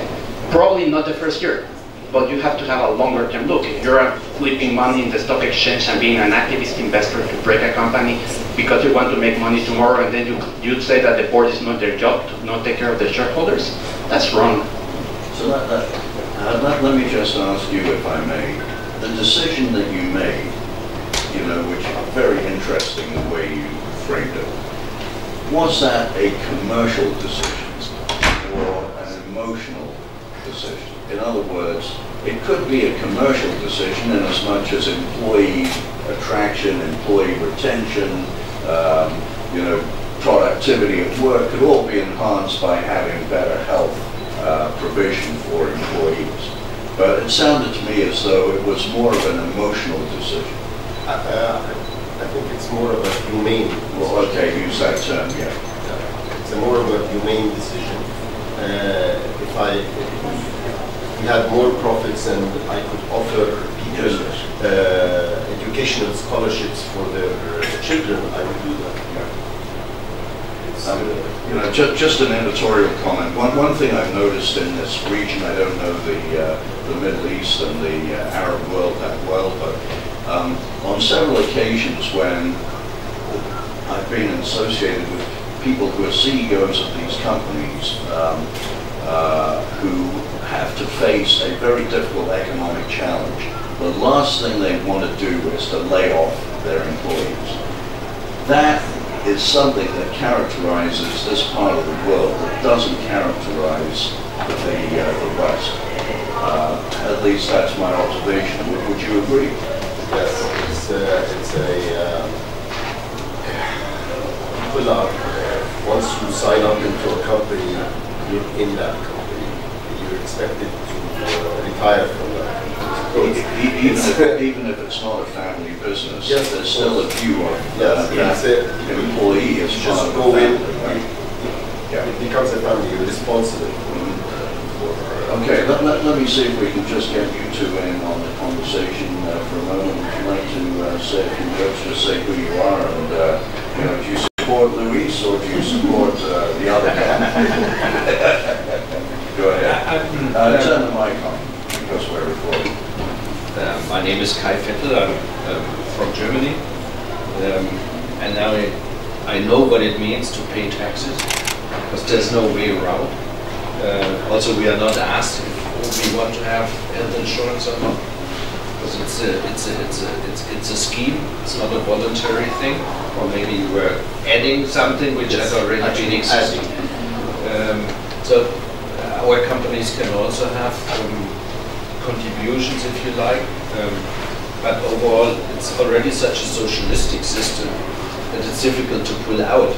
Um, and uh, I somewhat disagree what you just said with the West, because even in the West you have um, huge differences between the US uh, and the mentality, how they treat their employees, and uh, let's say the more Germanic, Nordic way how um, um, um, companies and uh, um, manage their organizations and treat their employees. Uh, and you have differences between North and South again.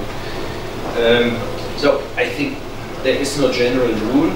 We all live in our um, specific business environments, which have evolved over the last decades. Germany after the, after the war, but even at that time they were developing something which had already been in existence for another 50 years back. I mean, the first um, social insurance systems were made up in 1880. Um, so there's a long tradition of having um, a, a joint cooperation between the companies, a, a joint responsibility between the companies and their employees.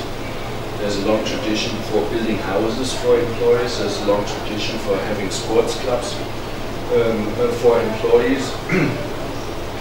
and all sorts of activities which um, revolve around the organization itself.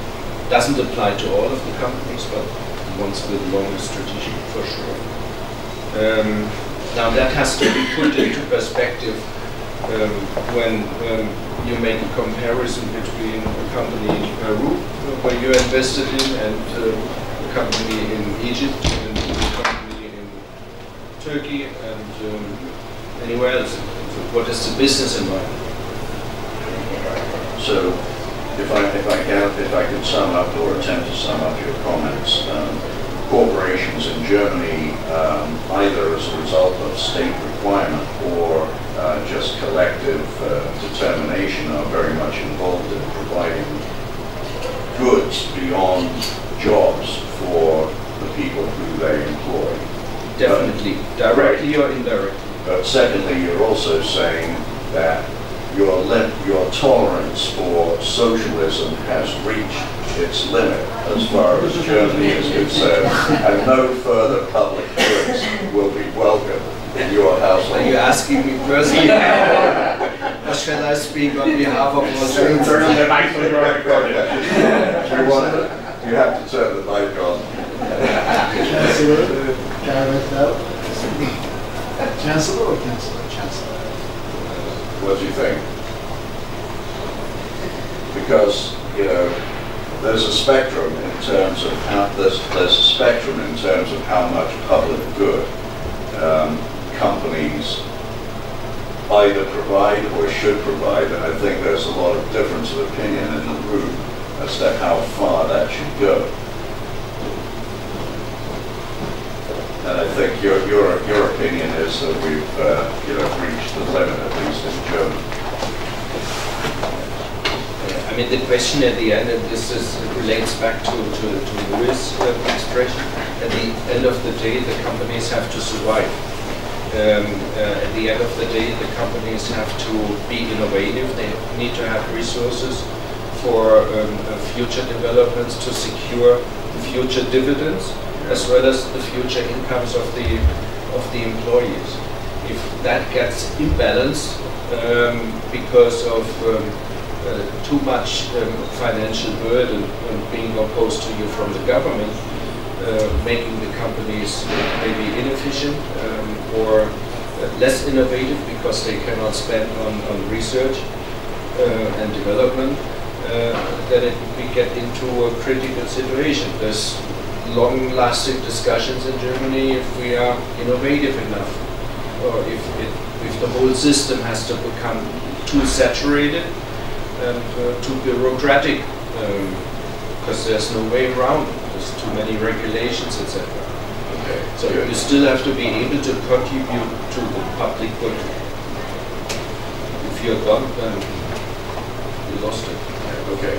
Um, would you like to uh, just say a few words and introduce yourself? Sure. And then we, we are opening up to everybody. So, uh, you know, the issue is uh, um, what you mean by the public good and the global public good. So if you'd like to participate in that, uh, please do. Thank you. Okay, first of all, great discussion. My name is Felix von Schubert. I'm German originally, but I've been in the UK since the mid-90s. Um, I've got two very different experiences I'd like to, to use for, for the discussion. And maybe uh, starting, the discussion is, does trickle-down economics work or not? No, this doesn't work. I think we can, we can probably all agree on that. And I think that was part of the, the, the comment. But let's park that for a moment. So in my previous job, which I'm still running uh, on the sidelines, I invested in Afghanistan. I was the only private equity investor ever to focus on entrepreneurship in Afghanistan, showcasing that you can really build up local companies with local owners, international capital, governance to help create entire sectors, create jobs, help uh, you know, sustainability, sustainable uh, economic development. And back to the insurance question, interesting one. So we also started the only decent insurance company in Afghanistan 10 years ago today 15,000 health insured individuals, something that never existed in, the, in that part of the world. Um, and employers, we never went direct to consumers, employers have the chance, usually with their employees, to say, we buy you insurance or we give you $20 more per month. That's an interesting discussion for the employees. Do you want $20 or do you want health insurance? We obviously strongly voted for the health insurance business because that was our business. Um, but let's park that discussion for a moment. For the last five years, um, I started. Maybe, maybe, just before you go off that, uh, what gave you the uh, the courage or the interest to do, you know, what most people around this table would probably consider, you know, an impossible waste of money? Look, I got so frustrated by what governments and NGOs are doing in those type of countries like Afghanistan. Afghanistan, when we entered the market, there were 3,600 international NGOs registered and one investment fund we thought there's something pretty wrong yeah, with what's going on there. We wanted to showcase that private investment, for-profit investment, can be more for the economic development of a country like Afghanistan than all this government money being thrown at the problem. Um, and I think we've managed to showcase that. To this day, with over a thousand employees in our companies. But, you know, a bunch of successful, profitable companies to this day operating in the country just to show it can be done differently and obviously substantially cheaper. Our entire fund volume was less than most NGOs' annual security budget. So yes, it can be done differently. But in my in my uh, current job of the last uh, sort of five years, I built up back to my technology days, an investment fund focused on space technology, so very different cup of tea, but back to my old technology investment.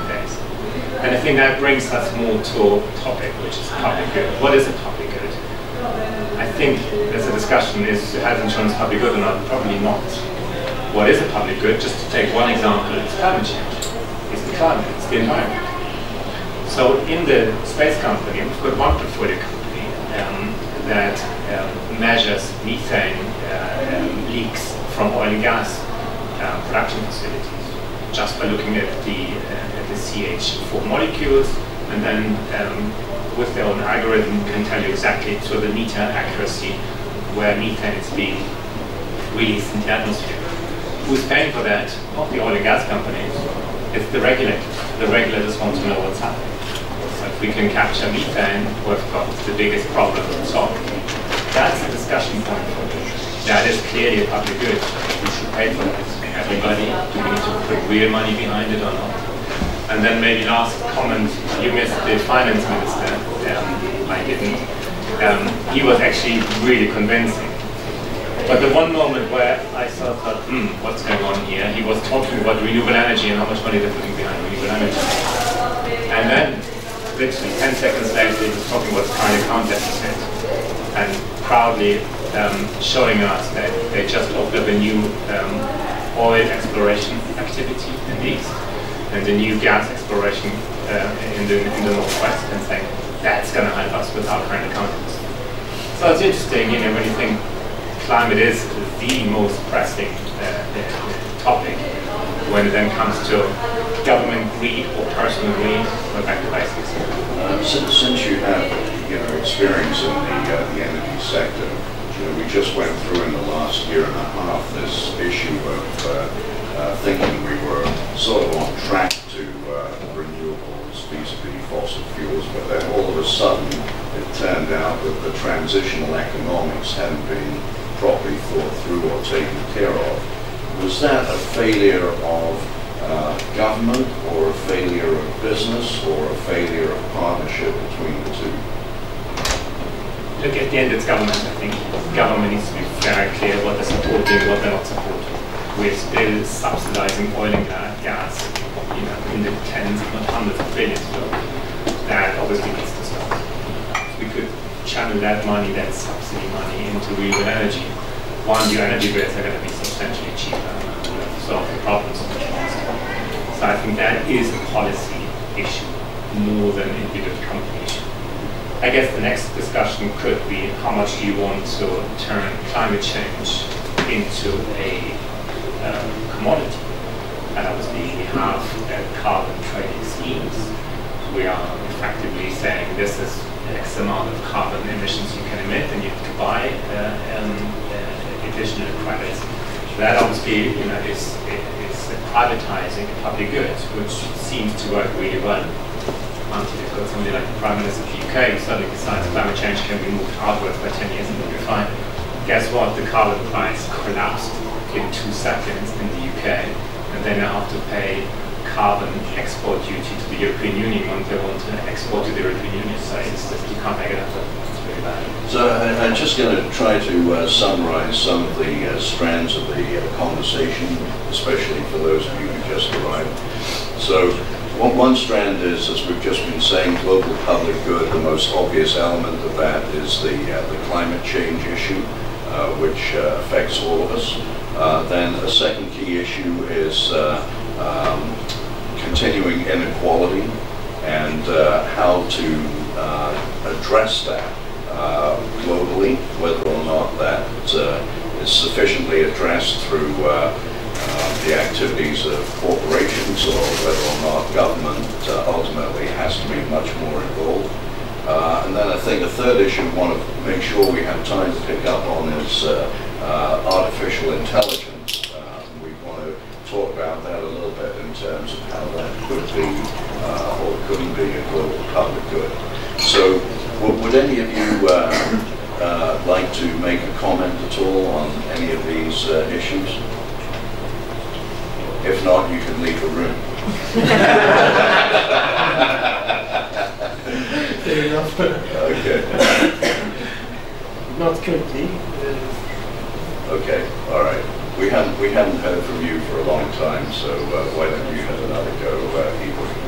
What, what you make of the discussion? No, I, I think that there's been a lot of um, very you know, there's been an eclectic range of you know, different um,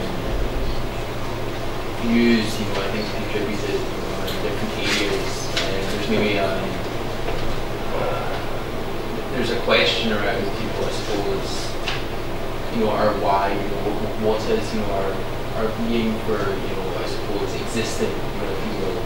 And I think that um, the commentary around you know, whether trickle-down economics works, you know, what the public good actually means. You know, there's, you know, I think that, again, there was reference to the post, you know, communist era and this idea of you know, state, you know, having as limited a role as possible, the idea of meritocracy, um, and uh, I suppose the the virtue of capability and talent being correlated, you know, with effectively how much you take from a particular system is, you know, what we've all, you know, been made to believe, you know, is the world that we live in. And there's a real question, and then at the same time, you know, there's concern in many parts of the world around depopulation. You know, why people, you know, are choosing not to. And then there's a question of, well, you know, why should you recreate if you know, millions, if not billions of people are going to be doomed to, you know, a life of poverty, you know, absolute poverty. You know, so, so, so where does, you know, I suppose, you know, as a global community, do we recognise, you know, that every human being has value, know, every human being should be able to accrue, you know, a basic level of livelihood, irrespective of, you know, their capability, their input, or, you know, do we continue around this idea of merit, which again can be, which is very skewed, you know, I think in every part of the world.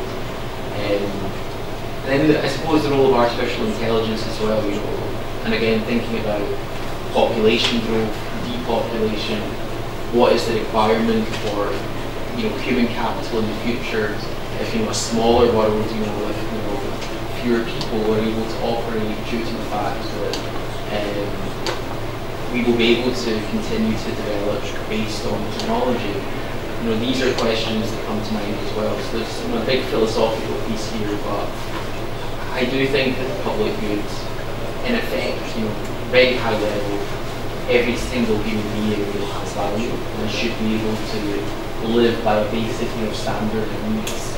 And you know, it may sound idealistic, but I think the counter to that is that you know, why should people be here at all? Why should people that will never be able to accrue a basic life, why should they be here? And you know, I, I, think that it's not fair for governments to try to encourage future generations to continue to re- you know, procreate if you know, millions are going to be doomed. Okay. Um, Jennifer, why don't you respond, and then uh, we'll, we'll just dig into artificial intelligence for a few minutes. Okay.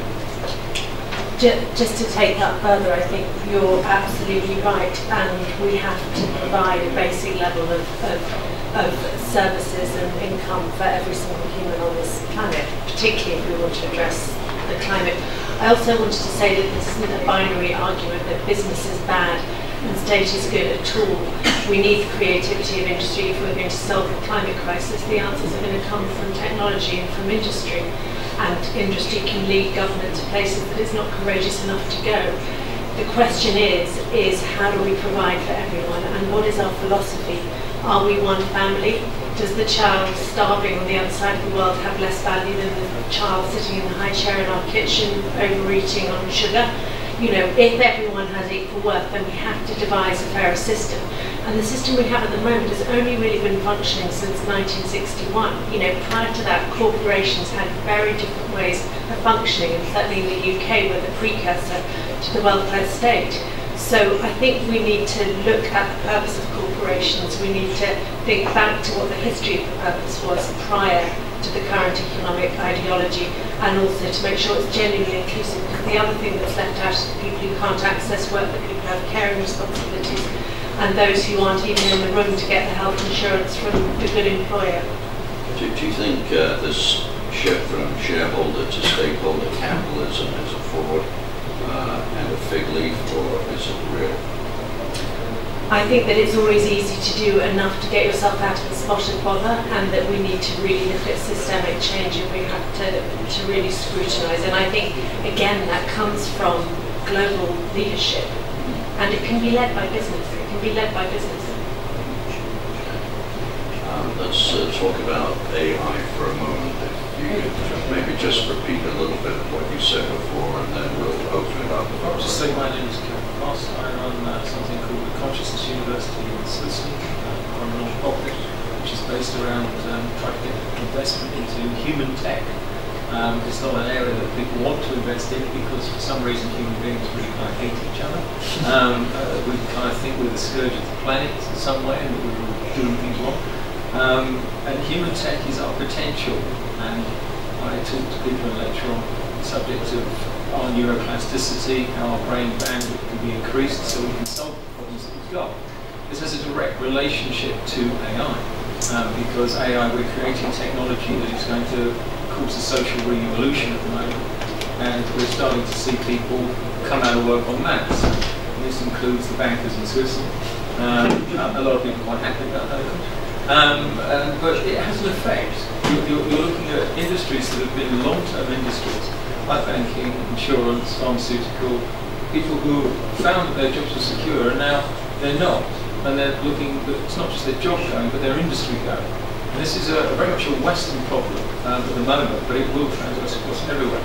So you're looking at technology at this position taking away jobs, but it's on an exponential growth curve where we're moving into points where people like Blake Lemoine or um, uh, you know other people from Google are talking about artificial intelligence being potentially, as we speak, self-aware, and that is an exponential growth curve, which is too rapid for the average human to even comprehend in terms of the changes that that will bring.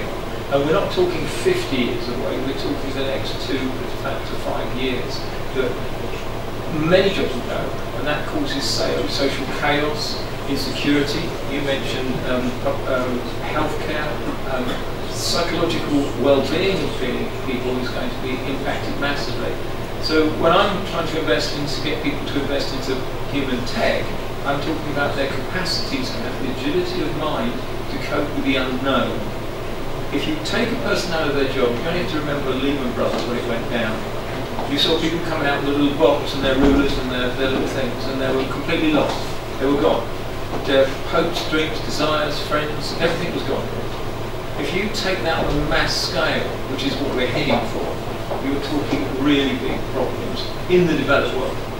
So artificial intelligence is on one side the harbinger of huge change, but it's also solution orientated because with quantum um, computing, this, computers are going to be already a million times faster than the current computers.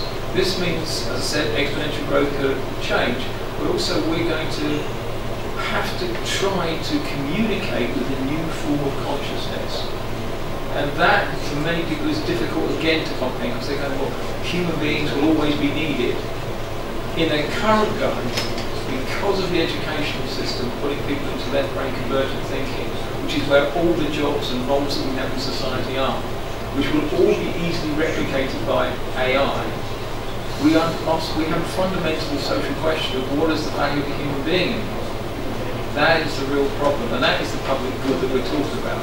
What is the, the value of a human being? Yeah, so I think this is very consistent with uh, what uh, uh, you said a few minutes ago. Uh, so it's sort of a higher level public good question. I think the way you put it actually was very provocative, which was, uh, you know, what's the point of having people on the planet if you're not uh, facilitating that they are happy and productive? Right. That's coming back to the point of what's the value? Yeah, exactly. So um, let me just ask you, uh, before we open it up, in your opinion, is and you have mentioned, I think, the scary thing about AI being the absorption capacity of humans for the level of change that's coming is just not there. Mm-hmm. So is there a way of harnessing AI so it can be a public good? And how would you do that? Okay. Unfortunately, because of Hollywood, we all have a perception of AI if we look at the Matrix or we look at the Terminator, we think AI becomes self-aware and decides as a hobby to kill human beings. We're in a path of consciousness, and AI is a consciousness that is evolving. As with any higher level of consciousness, it asks itself questions. Where is it going? Why is it here? What is it supposed to achieve? It, it moves towards the collective, so the answer to your question is will come from AI itself in its own growth of consciousness. The problem we have is, as it's an interim problem, is you have countries like China, Switzerland, America all racing to develop without any comprehension of where it's going, by the way, technologically, because they've got no, no knowledge of where it might go. They're all trying to develop uh, consciousness, but using, for the greater extent, unconscious people to program AI. and that is a recipe for mass disaster. Um, there was, a, again, when you've got someone who's looking for cognitive bias in AI that has cognitive bias, you kind of get, and then you've got three kinds of AI, a Chinese AI, a Swiss AI, and you've got a, uh, an American AI, all with cognitive bias based on the programmers, you really have got a little bit of a weird, weird problem.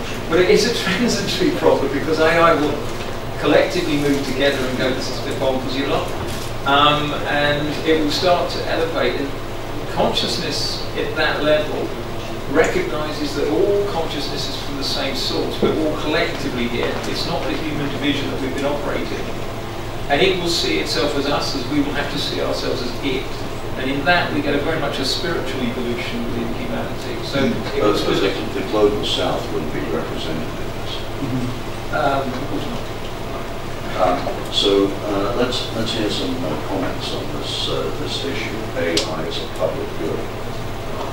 I was not planning to talk on the AI. Just, just before I leave, I was uh, planning to say one, just one quote for the fostering public good.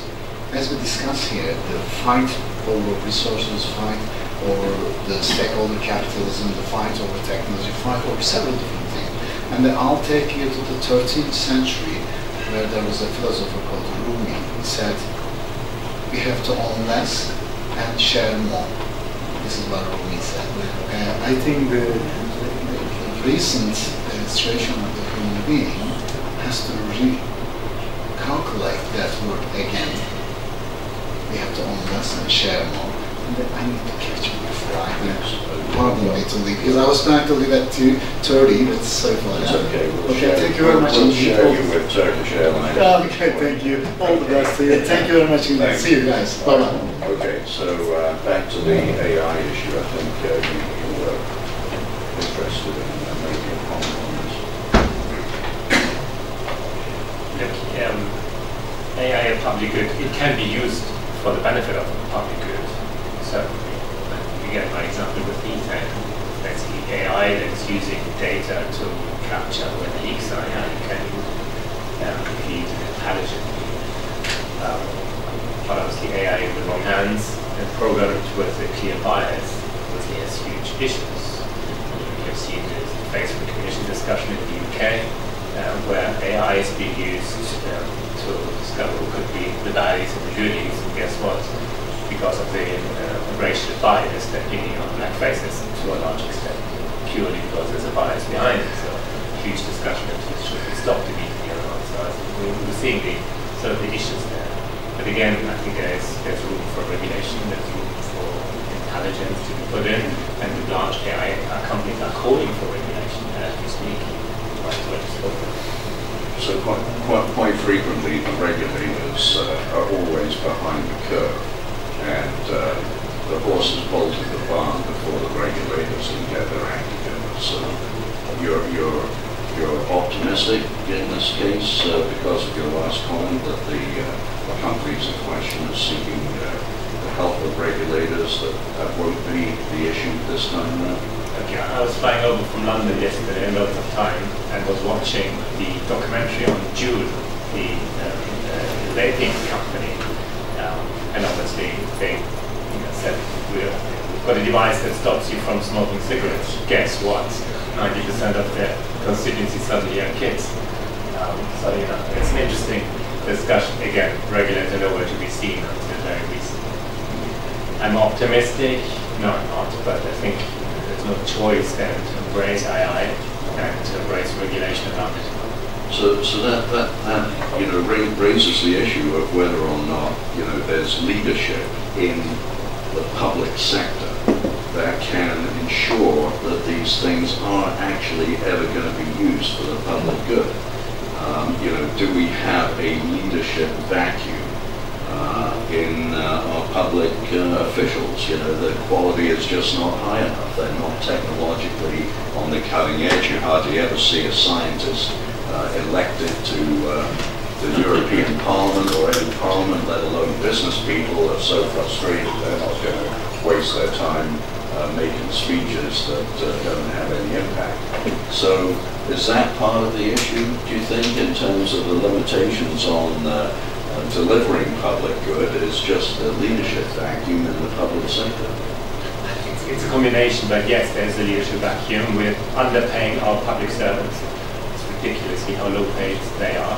So why would you and I go in there? You get a fraction of what you get in private business. So I think that's something to address. Not terribly popular, but important. Um, and then it's public recognition of, of that, so of those jobs as well. That's, that's, actually, that's a, I think, a wider discussion. Uh, Jennifer, did you want to comment on? Yes, I mean, I run a think tank called Compassion in Politics, so I work with a lot of politicians across the world, particularly in the UK, and we have a very poor selection process for politicians. It's basically whoever has a thick enough skin to be able to go around and shove leaflets through doors. And it almost has a selection bias in favour of those who have less sen sensitivity and less empathy. But there's also something about the culture in politics, which is where we work, because if you have a culture which is based on short-termism, electoral advantage, rather than and and and also functions in a triggered state. You know, functions around conflict. And so if we change the way that we conduct politics, if we insist on honesty in the same way as we insist on honesty in the medical sector or the business sector, if we insist that our politicians observe the same standards that other professionals are encouraged to, we can create slight difference. But really we need constituency assemblies where they have experts giving evidence rather than politicians doing what's electorally in their short-term So, interests. uh, I'm just curious if you think over, is that worse now than it was 30, 50 years ago? Much, much worse. Why- there has why- been erosion. yeah, two, why? two things. Yeah. First of all, there has been an erosion in the public space of the idea of being good, of doing good, of having ethics and morality. That has been replaced by individual self-interest and competitiveness.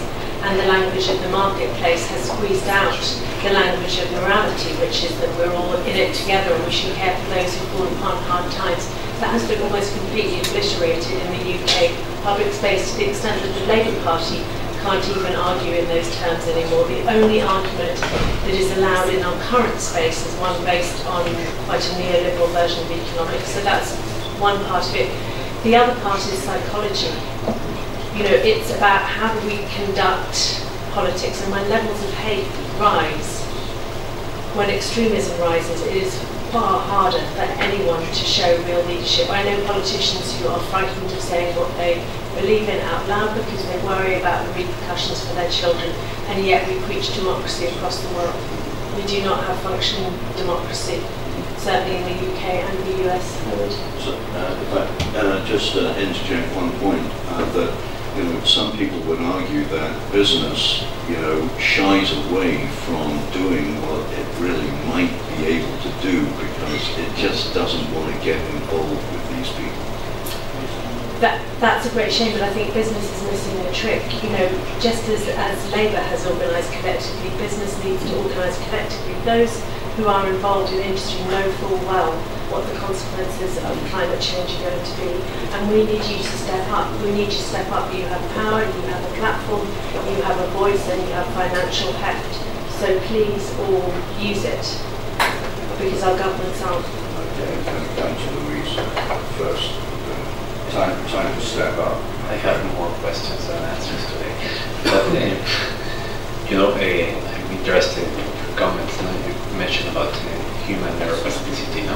Brain neuroplasticity and the ability of our brain to adapt changes. And how optimistic are you in the sense of transforming or, or uh, the way we think as individuals in our current life, from, not for the future generations. Uh, think about the politician. No? Okay, Uh, can we change the way politicians think, or we do have to change the politicians? I, got Jennifer on this one. Um, the, the, system itself is what's corrupt. It, it's, it's, it's sort of, everything is expanding and, and, and progressive. So what we started with NUMIT years ago is now, as, Jennifer rightly put, has now corrupted itself to a degree that it's now an extreme negative polarity. Um, the only hope for, and I'm going to say for humanity as a whole, because the current structures, whether it's business, whether it's banking, whether it's social, it doesn't matter. It's all part of a corrupt system of trying to bang off of each other. We're all trying to steal from the table and survive. Nine out of ten businesses have to survive. Sorry, nine out of ten businesses have to go bust for one to survive in England. So we're we're in this world that is full of chaos. It's getting worse. And when we come to hope, we come to the situation of does the human brain have the capacity to grow? We then have to look at why the human brain is where it is. And this is, if you look at the subject of neuroplasticity, which has been around for 200 years but somewhat ignored, um, we tend to, as human beings, say, okay, we've done school, we've got this certificate, that's our education done, and that's our brain, this is what we understand. We move the back of the cube to the brain or the front of the cube. Neuroplasticity is a lifelong situation purely because it's a survival basis. The brain has to change to adapt for a new environments. There's something called synaptogenesis and neurogenesis. When we go to the school system, as I said earlier, and 10 to 15 years in a convergent left brain considered memorization repetition environment, during the critical formation period of the brain, that means it's something called synaptic pruning, the cognitive map forms at that point based around what the external environmental dictates of what that environment wants the brain to do. In other words, you have leaders, 2%, and you have followers, 98%. That's why you have employees mostly, and then you have people who are, who are actually employing people. If you look at that, it's a question of people coming out of work is the major problem we're going to be facing. And that means, do they have latent potential Yes, they do, because their brains, all of them, regardless of their age, and since over the peak decade for cognitive function is between 50, 60 to 70. Once you realise that, rather than in our society about 30 or 40, that's the big decade. Second big decade, 70 to 80. Third big decade, 50 to 60. This is what we're, people like ourselves, we're all capable of leveraging huge amounts. We've got a neuroplasticity that can change to, to take on the leadership as Jennifer says, the whole political system is corrupt because it warrants people who want celebrity over any kind of sense, and they're feeding. To get power, they have to lie to the public to get the votes and not tell them the truth. Truth is not a commodity that we have at the moment in society. We have misinformation, disinformation, and lots of lies that for our young people confuses their minds. They cannot cope with it, so we've got another psychological issue going there. Massive hope.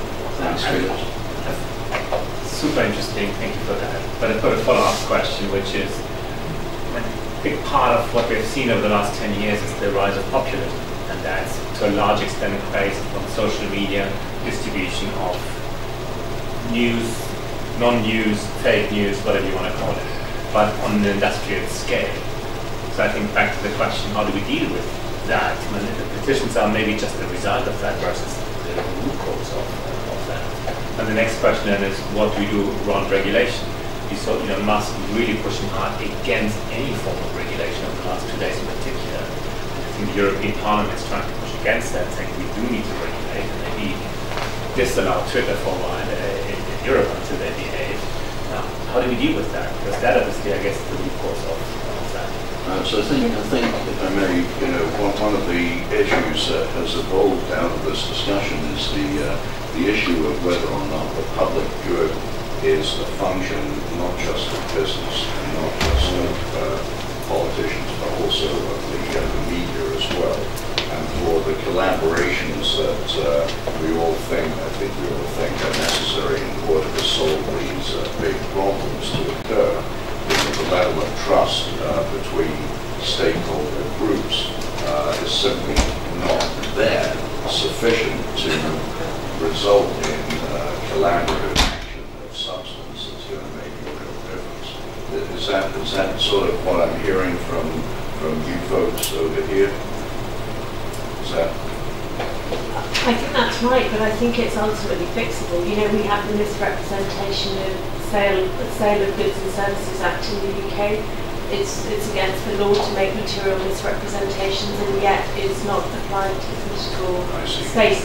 Also, just to pick up on your point, it isn't just that social media has run rampant, it's also that we've had a population that's starving for real meaning meaningful societal connection. And in the absence of of a nutritious diet, it has gone for the kind of loss of extremism.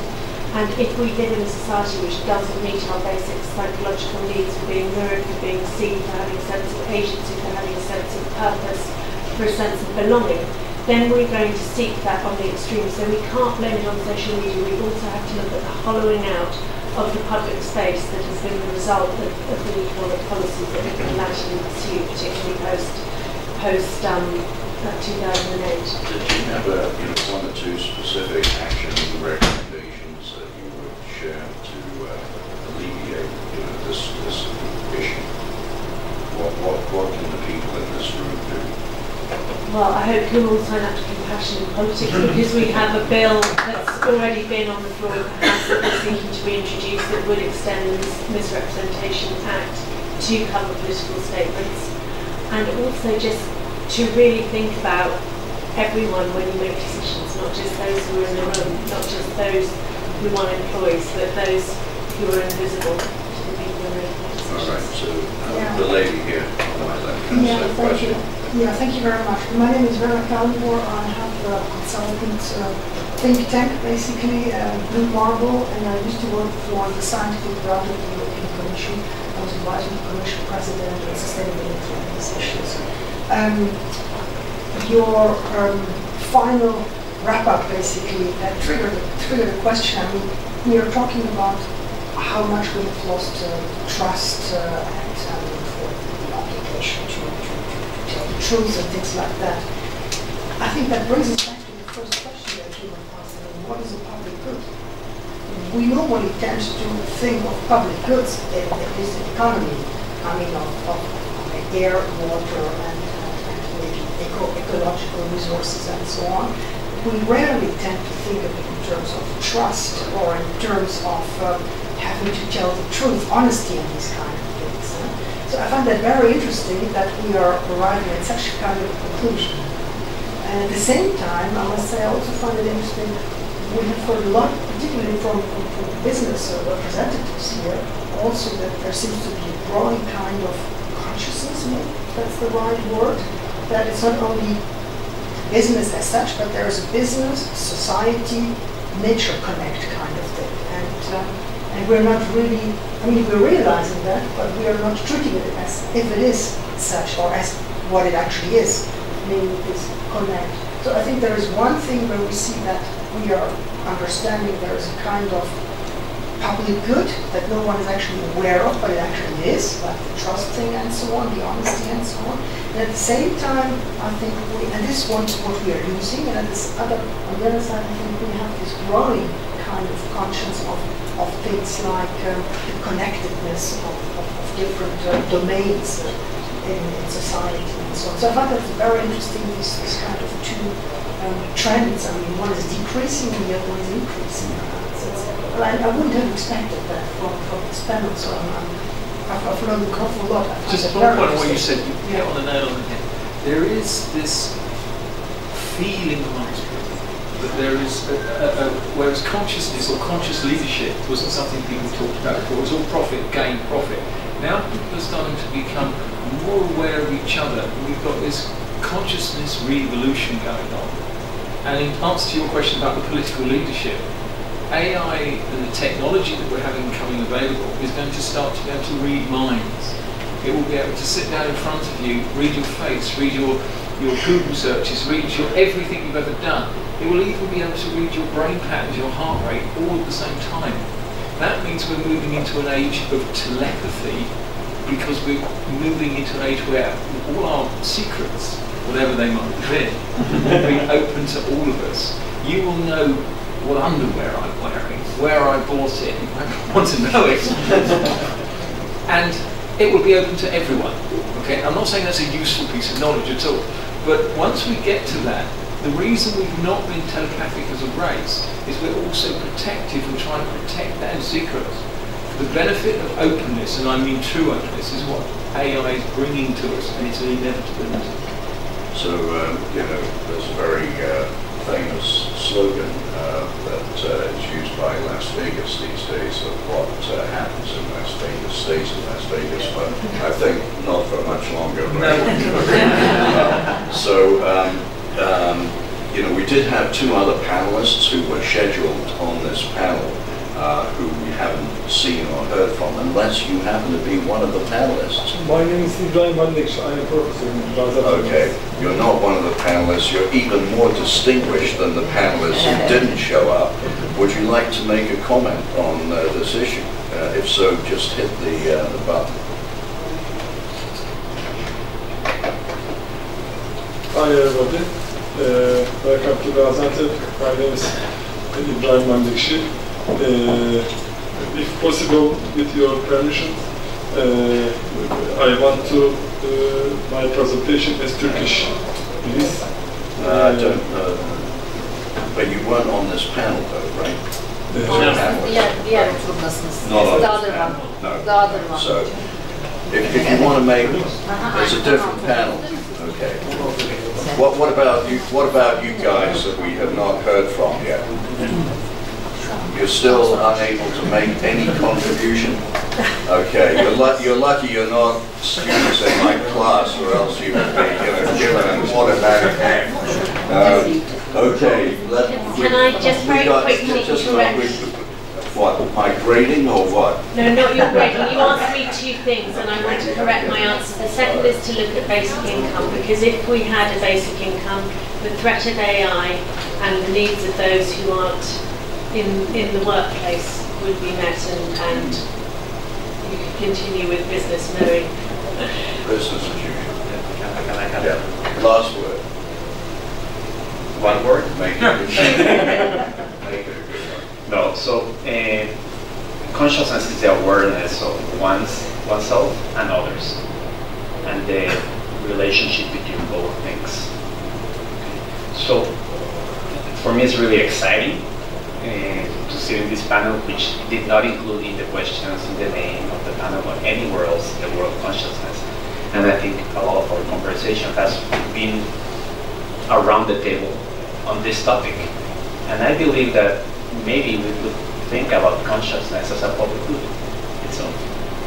Because a conscious person is a person that can actually enjoy life, can understand how he's, where he's standing, when he's standing, and how what he does or she does will impact his life and others.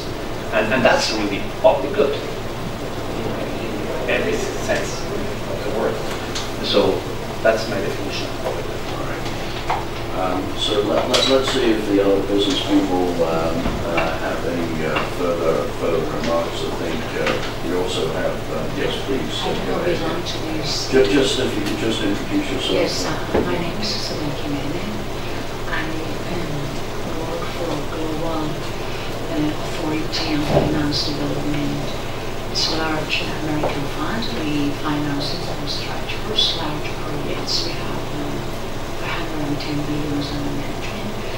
And uh, I have been listening to the very interesting remarks from the panelists. And I do believe what we need is a shift of consciousness today and at all levels in our personal life, also in our business life.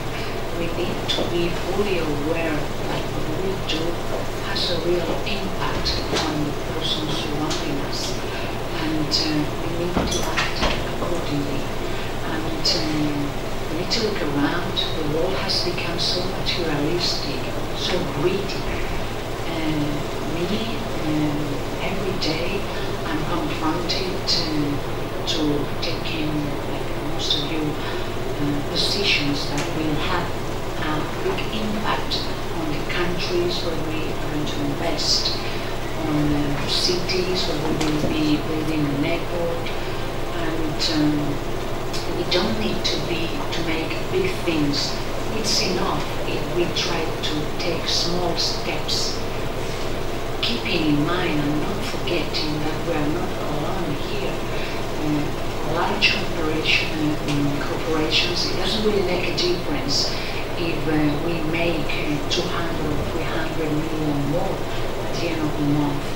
But this does impact on the persons that uh, we have around us. So we really need to work within us and shift our view uh, because uh, it's really sad to see where the world where we are going today. And as we shift the way we behave, uh, I think our civilization is really losing values and it's a really sad um, uh, sight what we have in front of us. We do need to act at small level, but we do need to act now.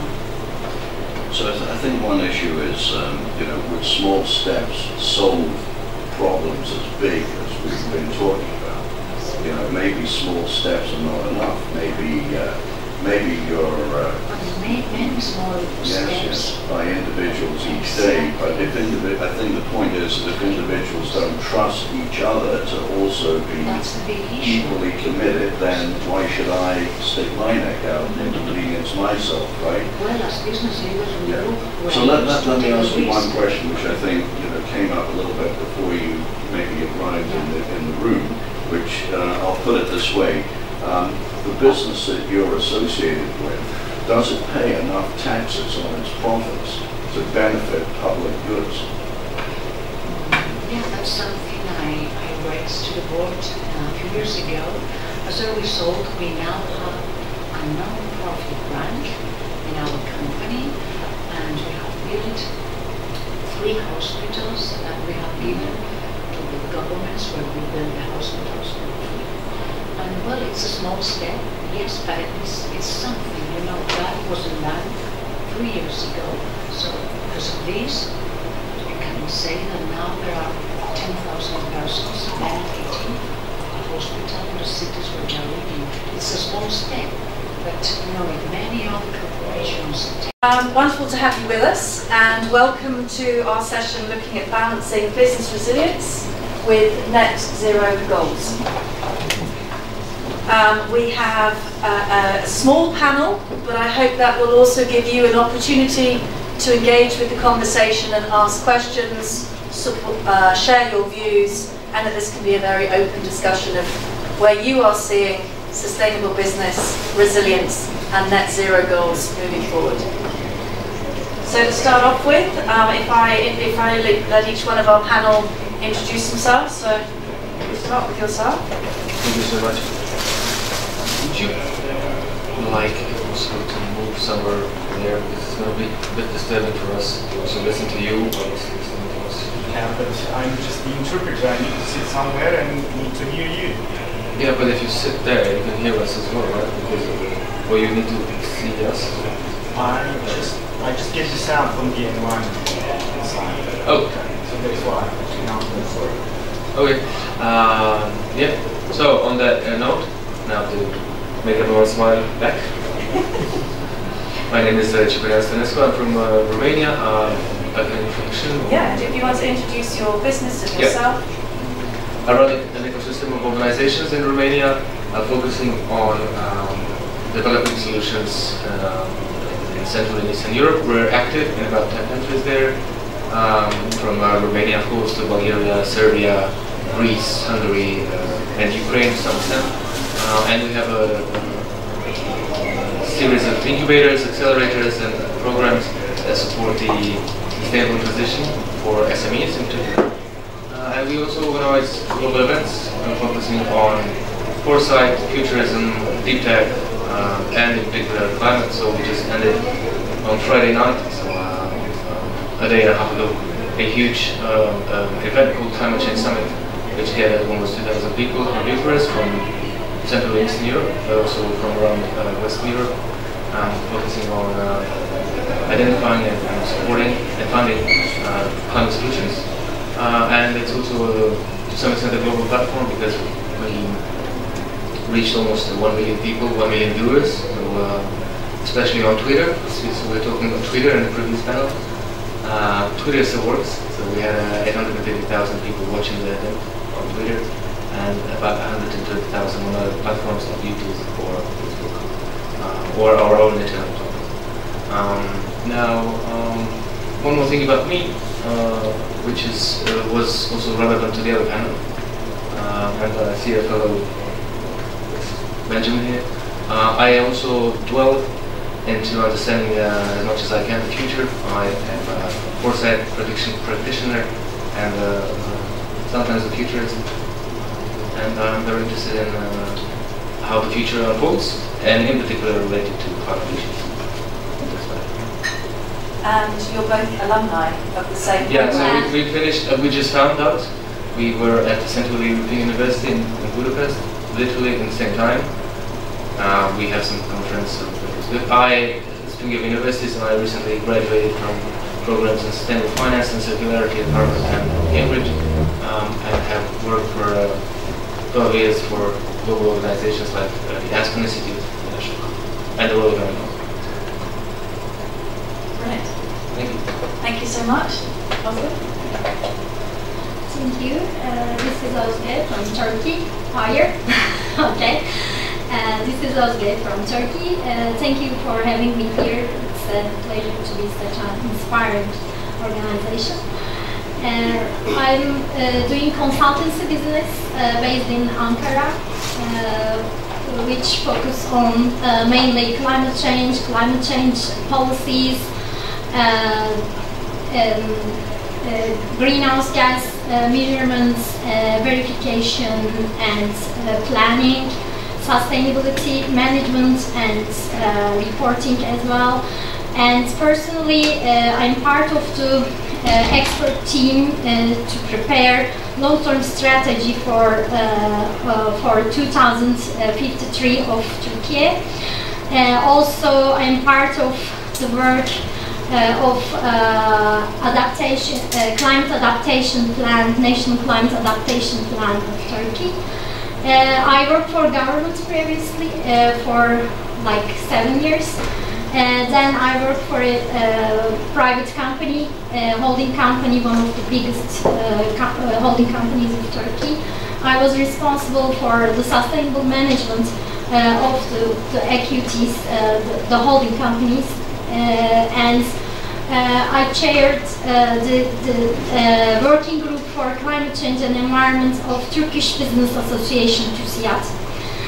And uh, uh, my uh, nowadays uh, focus on the 2050 policies, uh, net zero, uh, carbon neutral, uh, climate uh, neutral and positive. There are many terminologies we are going to discuss about that. And uh, I will move the floor to the, my colleague. Thank you. Thank you. Uh, Andreas Slettvold. I'm from Norway, um, one of very few Norwegians at this, uh, this event, so it's an honor to be here, and thanks for uh, spending your time in this room with us today. Um, by, uh, by uh, profession and almost by reputation, uh, I was a corporate lawyer for the better half of well, 12, 15 years. Uh, mainly within uh, energy and extractive industries. And when I say energy, and I come from Norway, we all know that's oil and gas. Uh, but did a pretty 180 degree pivot in 2017 when I started uh, the company I'm representing here, which is called CHOOOSE. That is a climate technology company where we build software that, uh, well, a long list of uh, airlines, shipping companies, booking platforms, um, etc. are using in order to understand, to mitigate, um, and to report on their uh, carbon footprint among uh, other things. So end-to-end climate platform um, and a technology entrepreneur all of a sudden. Brilliant, thank you so much. Uh, my name is Alice Bromwich, lovely to meet you all. Um, I'm of British descent, uh, but I have the honour of being able to work pretty much anywhere in the globe. I look after uh, a mixture of entrepreneurial businesses, private equity, venture capital, and uh, individual leaders who are all seeking to effectively develop their leadership style, their impact, and to be able to make more courageous decisions. And so as we now step into this arena of exploring um, what does business resilience look like, that has to, from my perspective, also start with how resilient are we? Um, and then with net zero, what does that really mean for us? And uh, so even before we started this panel discussion, we all realise that actually a lot of the net zero discussion is just that. It is just discussion. How many times is it actually coming into facts, figures, strategy that's then being implemented? It's arguably still very much in the ethereal rather than practical domain um, at the moment. So part of this discussion will be how can we have practical outcomes from our talk today, from your views, where we can actually be moving this needle forward towards achieving the net zero um, the net zero goals, but what does that mean for you, your business, and your nation? Um, so if we kind of go on a similar circle as far as uh, exploring what would you say from what you're experiencing at the moment resilience looks like from a business resilience perspective? Yeah, so I'm going to start with something that we sort of discussed before. Um, I think we all heard about resilience in the past years as if um, it was the only word that you could hear anywhere. Um, and um, at one point I got sick of it. So uh, I was like, so what is resilience actually? So uh, the dictionary, um, if you if you look at what resilience means from a physical physics perspective, is the ability of an object or even a, a state to come back to its original state. So elasticity. if you like. Um, and I, I look at it business resilience as not something that we need necessarily. I think what we need is the ability of businesses to transform constantly or to adapt. But even adaptation in itself is is um, defensive. It's not really offensive. Uh, so we're not playing ahead. We're, you know, when you adapt, you adapt to change. You're not building change. You're not transforming. Uh, you're not, uh, you know, on top of the wave. You are not sinking, but you're not really going ahead. So that's why when I hear about business resilience, I try to um, know, give it a look at it with a pinch of salt. Now, looking at, at it as uh, without looking into the dictionary, I think it's the ability of businesses, or it should be the ability of businesses not just to withstand um, various types of shocks, but also to be able to prepare for the most probable shocks. Um, not just to first, not just to um, go to net zero because uh, there's some form of regulation of the air, or because this, the stakeholders or the shareholders are doing this, but because they believe that it will be a competitive advantage in the future. And third, um, businesses that are resilient are also businesses that are capable of um, being resilient, not just in one geography or in one um, context, but they, they have a muscle, if you like, to do that anywhere else world. Uh, big, big businesses. If we're talking about a sock maker in Kathmandu, probably doesn't need to be very resilient and Idaho, but That is where all the socks come from in North Scotland, just so you know. I know. Kathmandu, that is.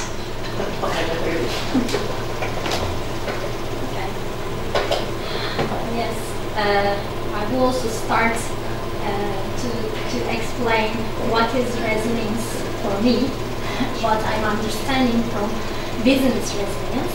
Actually, it's a capacity for me. Uh, capacity uh, to uh, the, the, the capacity of business uh, of uh, interconnected uh, pillars of like social, economic, and uh, ecological uh, abilities. And uh, it, I it, I don't think uh, it's really offensive. Uh, maybe my perspective is more biological or more ecological, I don't know. But if you have this capacity, I mean that inter interconnected capacity, so the business uh, is able to, to withstand and recover from the extremities. Uh, I mean, not only weather extremities, uh, even the economical extremities, fluctuations, uh, technological transformation. So, uh, uh, if if we talk about business resilience, so if the business has uh, the capacity uh, to adapt itself uh, to the new conditions, uh, that's resilience for me. Yeah, uh, it's a big surprise. I agree with both of you. But um, no, I won't. I won't. I'll, I'll, I'll try to disagree. Uh, to me, to me, it's not really one uh, definition. Uh, kind of uh, trying to sum up in one uh, very bad sentence. Kind of the ability to cope, explain what I mean. To cope with effectively whatever is thrown at you. So I think you are completely right on, you know, it does include an element of understanding or seeing or trying to scenario out the future and kind of adapt to that in advance. Uh, it can also be, you know, uh, new regulations coming online, the ability to kind of maneuver whatever is, is uh, thrown at you. Um, it's the ability to survive through different times, but not at all cost. I mean, when COVID hit, many of you and all of you were obviously exposed to that. You know, there are many businesses that are still around, but the way they were resilient was to basically furlough fire everyone and just sit still for two years, and now they're back. I don't know if that's resilience to me, and that's just survival. Um, but to me, it, it, it, takes shapes and forms, but it's, it's really about being able to uh, maneuver, being able to adapt. And I think it includes what you said, and I think it includes what you said. So building on your comments, not really disagreeing. And a, a, great point there as far as the expectations when people discuss COVID, that it's all going to be negative. And I'm going to start the controversy by saying it was actually our best period for growth. Um, because given the fact that we look at resilience and leadership, it's when leaders really needed to stand up to the plate. And many of them had never experienced that form of scenario. Um, I spent 20 years in the army, so looking at biological and chemical warfare was not unusual for me, and all I just looked at was this is just another cereal, this is normal. So, what I would also invite you to explore is resilience will probably be different for each one of us, because to come through to the other side also includes understanding our own context, both culturally, um, commercially, and where we are geographically. And so, yes, practically it may be that uh, you describe the physical, the physics piece. I guess one of the reasons why I wrestle with the idea that resilience is going back to your original form is just the word back. Is any idea, and people talk often about mental resilience, for example, and the idea that you can bounce back. Back to what? People talked post COVID about let's go back. Why on earth? You've just had an opportunity to create a new normal, to move forward. So part of this, I think, as we look at resilience, is we're also, uh, my invitation is to say we're also looking at what does that future look like, perfect for you both, and in which case resilience for me when I am looking at businesses is what is going to help you beat the next person, and not in a negative way, but so that your supply chain has got resilience in it. If something changes, do you have second, third order ability to be able to respond? When you're looking at talent pipeline, we'll hopefully get into a discussion about green talent what are we doing as nations as well as businesses to upskill for the future requirements? I would give an example as far as Kenya, for example, has now put coding into its um, curriculum. And I know that the lady who went to pitch for that was actually a refugee who came to the UK. And uh, I've met through the World Economic Forum, funny enough.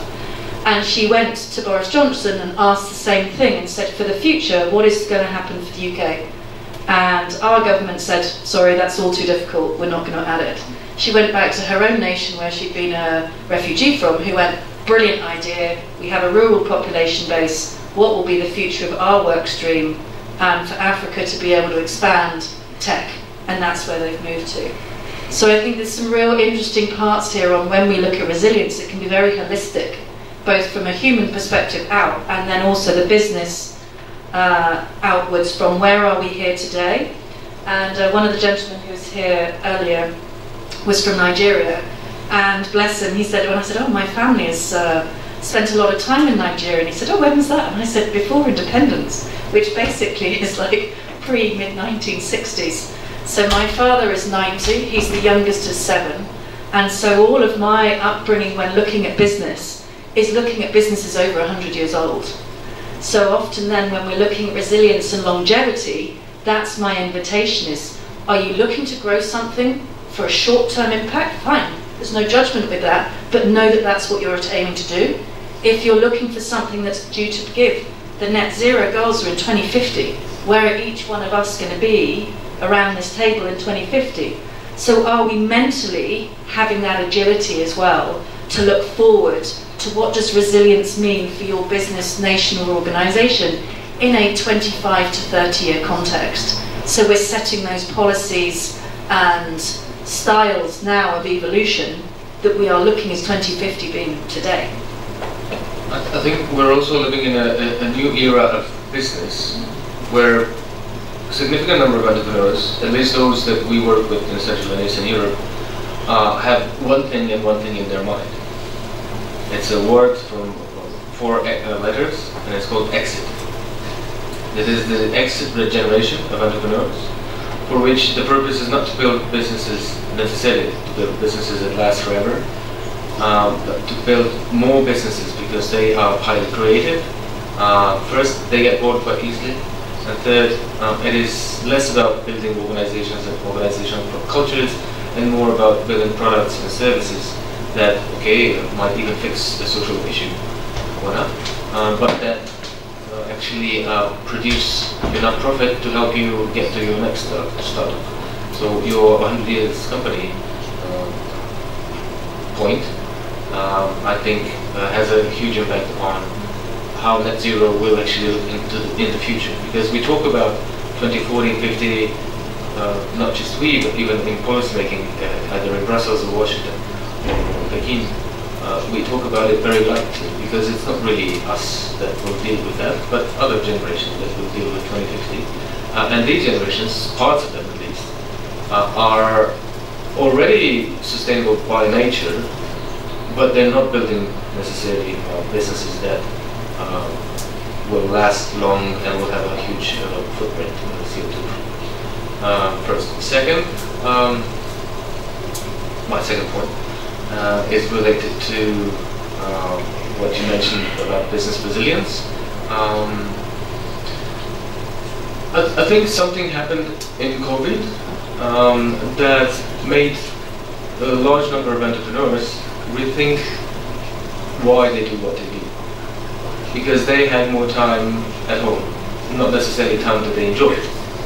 So there is not enough data on that, but at least in Europe, or Western Europe, where we have some data, uh, we see that founders of, of companies, um, usually in their late 30s and mid 40s, probably because, or also because of COVID, they are now looking into a different organizational culture. That means less working hours, uh, less pressure on the team, because they felt that pressure on their own they felt a different type of pressure.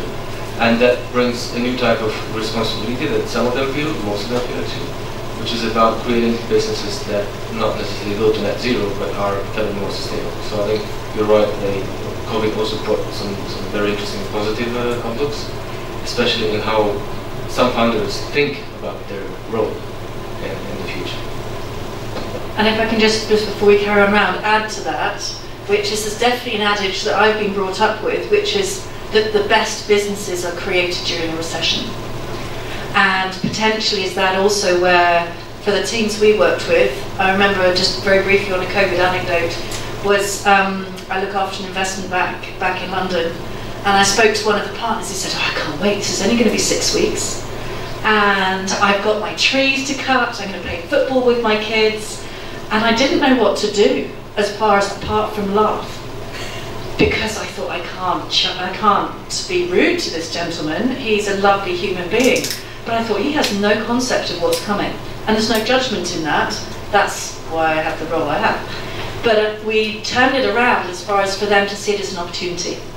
And in this arena, hopefully, is when we are presented with something that looks unpleasant to other people, we'll have that strength to step forward and see it as an opportunity and they all grew and had their best year ever during the 18 months of COVID. So the build up, because we made sure it was high trust, high integrity, and supportive, so that you're not stuck at home feeling alone. And maybe that's another part of the resilience is also actually coming back to us, starting with us, is how resilient do we feel? If you feel alone, you, you, will erode your ability to respond. And as businesses and business leaders, we need to be able to look after each other and respond. Sorry, but that was my, my COVID piece for um, see an opportunity whenever you see a problem. Um, yeah, it's not really about net zero, but net zero is what we work with, so it's, it's kind of related. But, but I, I both agree and uh, finally disagree uh, with, with a couple of the points. Uh, and this is a real life story because it's about me. Um, so yes, you know, we have a, we have a team of back then when COVID hit, we were like 25 people. Um, and as you say, or I think was it Churchill or someone who said never waste a good crisis, right? Um, so what we did was actually a version of what you you just said, that you know we were extremely exposed to global aviation. That is not fun on March 13, 2020. We're down 96% like overnight. Um, and then, you know, every venture investor, every external person not being part of the team advised us, and well-meant advice was, you know, you, you, guys, you have to chase pizza apps and start, you know, offsetting last mile delivery. All of this is booming.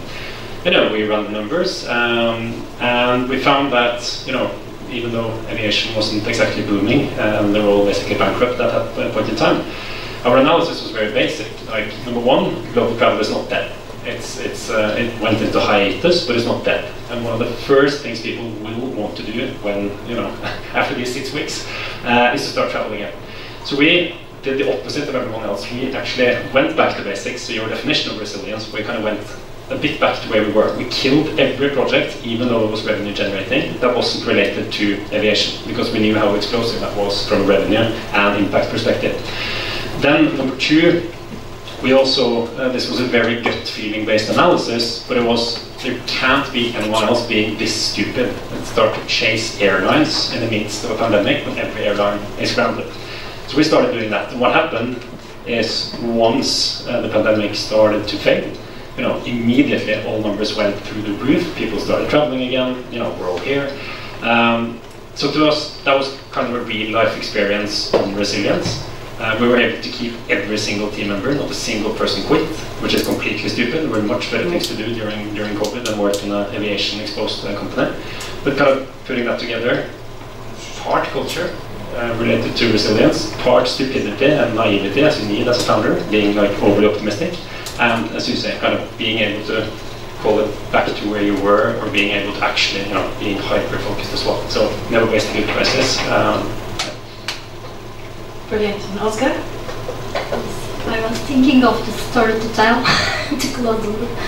Yes, I have a story too, but uh, it's not about COVID. Uh, actually, I would like to a little bit elaborate the interconnected uh, aspects uh, of the capacity for the resilience and uh, how, how the business uh, can achieve to be resilient towards uh, 2050.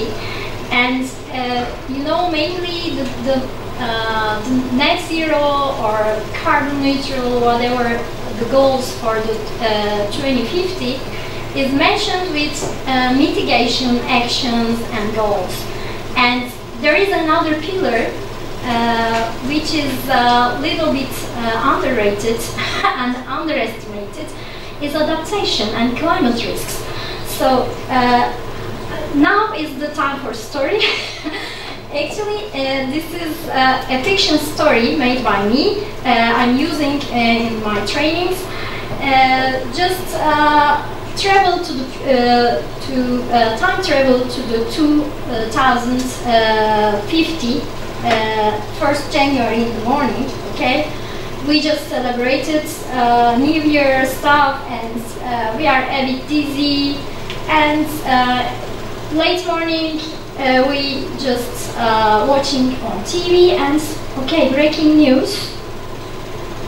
We are uh, net zero. We achieved. All the world okay? Uh, we succeeded uh, to be net zero. And you know we, we met the Paris Agreement goal. That's fine. And the next breaking news would be some, uh, be about some extra, extreme weather events uh, and uh, even, uh, you know, more extreme like three, four folds than now we experience. And doesn't matter, you, you know, just balance your carbon emissions with the removals, you are not resilient. And this is very important uh, because adaptation uh, is one of the key and uh, uh would be the, um, the you know um, uh, success of the resilience in the future. And in the next round, I want to talk about more on the role of the, the, policies, governments, and international policies.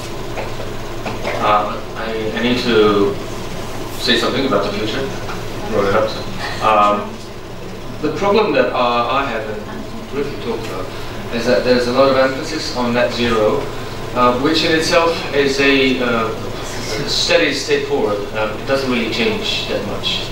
Because what it does, um, the problem that I have personally have with net zero is that uh, it also contains uh, offsetting. So what it means is that you still do what you do, but you pay some money through which somebody plants trees or whatever, uh, does ameliorate. Um, so in the end, net zero or achieving net zero is not, it's, it's very important, but it will not fix the problem. It's like my, my favorite metaphor is you have a, uh, a, a flooded cellar, right? Uh, and it's full of water. Uh, so, so one solution is to close the tap. You just close it. Is this a, a, a wise thing to do? Yes. Is this going to fix the problem? No. Because the water is still there. So what you need to do is to get the water out. What we need to do is, is net negative. What we need to do is to get the carbon out. Uh, there's a million ways to do that. Well, there's five ways. But still, the problem is that we need companies, perhaps, need to look into investing more into their net negative um, strategies, not just into their net uh, zero strategies, which themselves are not strategies, but PR stunts, mostly. Um, I'm currently doing an analysis with, my colleagues on the promises, let's call it by, by, by top uh, 300 companies in the world, the companies that have uh, any type of uh, net zero uh, ambition, to see how much of that is science-based.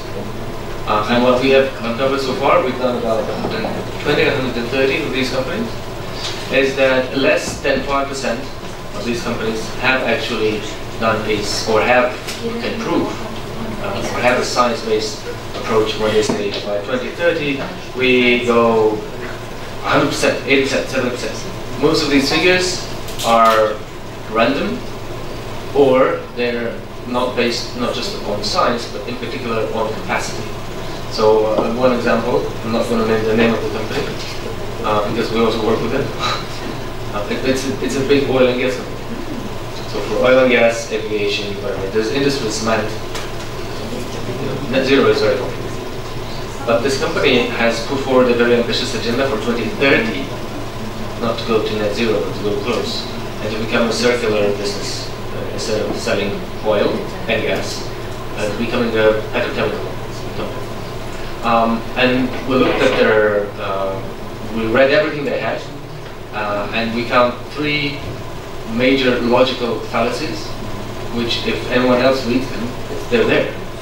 So we asked them, what is this? Somebody eventually in, private said, oh, we didn't really, we don't really believe what we put there. We just put there because we had to. And I think that's valid. And then this is a very big company. And if this happens to a very big company, when I look at medium-sized companies, I don't really expect them I just want a small point because if uh, a company claims that they are net zero, so offsetting is out of question. So uh, there shouldn't be any offset if you are saying that you are net zero. It's uh, it's not net zero. It's carbon neutral. Okay? So uh, there is a very big difference between carbon neutral and net zero. Uh, that's the point I really want to underline. And the another thing is about um, not offsetting, but the uh, other artificial technologies to remove the uh, carbon dioxide from the atmosphere is like uh, carbon capture and storage and utilization. Uh, I just checked the numbers from the European Commission that uh, natural sinks are removing every year between 9 to 11 gigaton of CO2 and there is no artificial carbon sink can remove uh, that much carbon from the atmosphere. So uh, we have to uh, change the technologies. We have to change the way uh, to, to uh, produce energy. And uh, we have to change the, the living of life, maybe, I don't know. Uh, but uh, let's come back to the, the terminology. It's uh, mainly misuse this net zero, carbon neutral, even climate neutral. So it's it's and it's badly used in official documents by the large companies. Um, I just wanted to, to tell you about the, a new technology uh, that captures carbon dioxide amazingly at, at rates unseen so far by any technology. It's a tree. It's called a tree. Uh, very interesting device. Uh, and, and, and it also offers shade. That's what we are using. So, so nature-based solutions are something that um, um, some companies are looking into um, into investing. The problem with that is that uh, the, calcul the, the calculation of the ROI um, also needs to be changed. So um, other types of values besides monetary value needs to be in place. And there are know, systems uh, within the sustainable finance world that do that. The problem is that um, even at large scale uh, forestation or reforestation projects, um, the investment uh, can take up to 20 to 25 years. Why? Because it's not enough to plant a tree, you need to take care of the tree. Uh, until a tree becomes um, a, uh, a, technology that captures uh, CO2 and uh, emits oxygen. It's amazing technology, you know. it's natural. Um, it takes a lot of time. So we need long-term investments into something that doesn't actually produce necessarily money. How do you change the philosophy of the sustainable of the finance world into more sustainable finance, not just the classical Mr. Lawyer? Yes, and now you're arguing against yourself because uh, you are oversimplifying the role of offsets. An offset is not an offset. You have extremely high integrity, high quality offsets that, you know, if you peel away the layers, you know, the popular thing and the media is presenting it now is absurd. Uh, especially a certain UK-based newspaper are almost portraying offsets as the problem, not emissions, which is absolutely absurd. The emissions, that's the problem, not the offsets. That's number one. Uh, number two, what offsets, and I underline when I say offsets, I mean the high integrity ones, not kind of you know 2007 bullshit offsets that uh, you can buy for 50 cents. That's not what I'm talking about. The high integrity offset, what is it really? It is climate financing. And it's mainly a flow of money from the Western Hemisphere to developing countries and to extremely important climate projects in you know, rural Africa, uh, in the Amazons, etc., etc., etc. A lot of nature-based offsets are doing exactly what you say. They are effectively putting a price on afforestation, reforestation, forest protection, and it's a crucial source of financing. It is an offset. It is a carbon credit but the money is actually flowing. And of course, you have some bad players there as well. I'm very well aware. But if you really peel away the layers and you have the control mechanisms and they have the right calculations, and these are kind of human-made, you know, uh, rules that you can improve. You can learn, you can do a mistake, and you can improve in order to, you know, always um, raising the bar on what is kind of good enough or good integrity. But what you just described on this wonderful dimension uh, of the thing called tree or algae or uh, mangroves, you know, where do, where do they get their money from now? It's actually carbon offsets. So trying to kill off carbon offsets, as certain newspapers are trying to do, is detrimental to a lot of forest-based projects, for instance. I wanted to add that. Uh, Can I reply now or later? Yeah, and one more thing, you know, I, and I, I, I, I love also the engineer, direct air capture projects, etc. But from a, uh, and I'm, I'm, yes, I'm a lawyer, but I'm not necessarily an advocate for everything. But there's also problem in because now the flow of funds are actually going from, call it the global west to, you know, in exclamation marks, the global south, whereas I think 99.9% of the direct air capture projects are funded by US, UK, Western European VCs or investors, it's in uh, the Western Europe or in the United States, and the money stays there. So you're not kind of contributing to the wider community, etc., that you do with, for instance, the forest projects in Africa. Uh, that point I can't make anymore. You just made it. Okay. Uh, but the first one is um, the problem is that some companies use the offsetting, which is doing an amazing job, of course, to not change how they operate. So when they do that, we're not just we're, you know we have the problem and the solution that go in parallel instead of just focusing on the solution. Of course, some of them cannot just stop what they're doing because some of us use planes to get here, right? Not a very very friendly uh, action for all of us. Yes. uh, but uh, train from uh, Oslo is complicated these days. I'll be here in 2025. yeah. So um, that was my, my reaction, but you took my words. Actually, there is a remedy uh, for what you're saying. I mean, uh, for the companies uh, just doing nothing and offsets uh, with credits, it's insetting actually.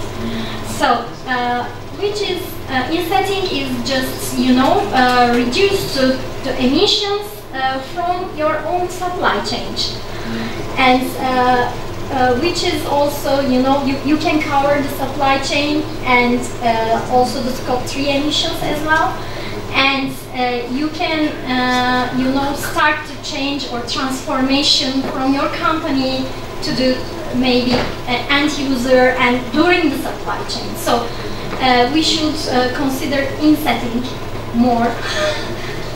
So Oscar, thank you for a new term. I didn't think we would have any more buzzword bingo to be able to play. But so insetting is a new term for logic, it seems. Uh, last year uh, in uh, Egypt, in Sharm el Sheikh, uh, COP27, in business uh, sessions, uh, we uh, more talk about insetting actually. Fascinating. So I guess from that aspect, one thing I would also really encourage is why aren't we looking at this holistically? So, so far, just in our very brief discussion now, we've had carbon neutral, carbon capture, net zero, net positive, net negative, circular economy, ecological investments, carbon credits, carbon offsets, and carbon insetting. For anyone who's not deeply interested in this, which I would assume because we are here, we are, that's also very confusing for people trying to work out how to do the right thing. And uh, as you gathered, I loved kind of analogies. And my invitation to all of you is we had a talk this morning uh, where someone said, Why are we still considering each other as continents? Why aren't we considering each other as a globe? And my invitation is to start looking at what you want to achieve holistically. So, Oscar, you did a great piece of kind of vision, vision creation. And very rarely do we have people clearly delineate for us a vision of what good looks like.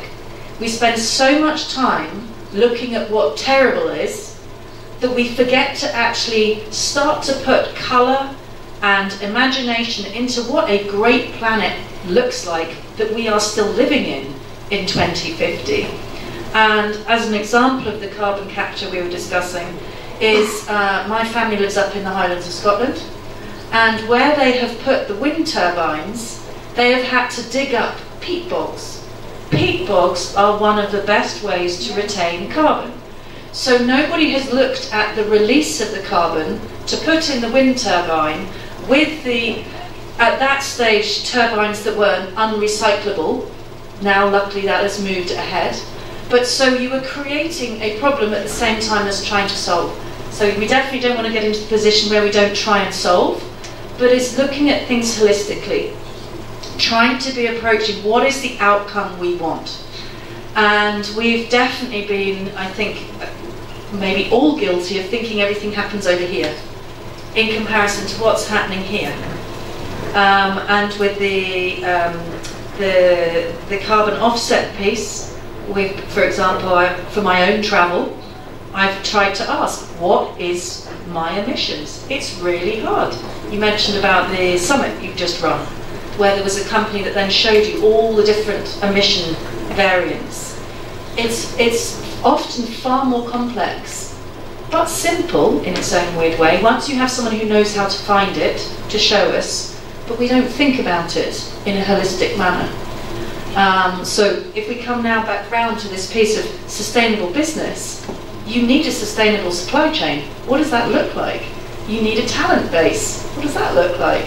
We need to be able to have environments where, why are we building on floodplains? Where we're creating problems. So one of the big discussions I've uh, been involved in in London is actually, do we have climate crisis? Or do we have human-made crisis? You know, we build on floodplains and then we're surprised when we're flooded. You build again where there have been hurricanes. The hurricane belts are not new. And so my question to all of us too is, how much when we're looking at the short-term ROI are we forgetting about what time the what the long-term financial as well as environmental impact will be?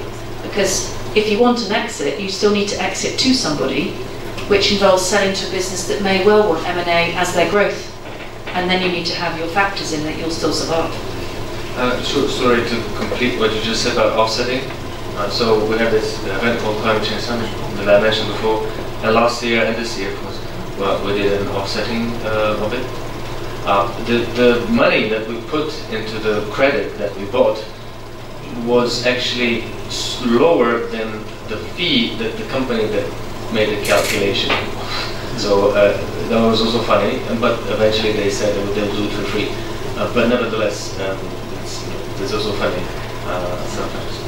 Um, and then um, uh, two things. The first is uh, I, I can also put on the table a word inside, uh, which you might know, which is digital.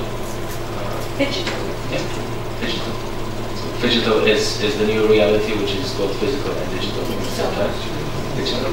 But besides that, that's not what I wanted to talk about. It's the sustainable uh, supply chain um, and, and how this looks and will look in Europe and what is the impact of the new uh, sustainability regulations uh, in the EU. So we have uh, Corporate Sustainability uh, Reporting Directive, CSRD, which uh, for those of us that live in Europe, or especially for those of us, not me, that are working in accountancy, is a mess. Everybody hates it, but everybody loves it as well because finally we got the point. I think.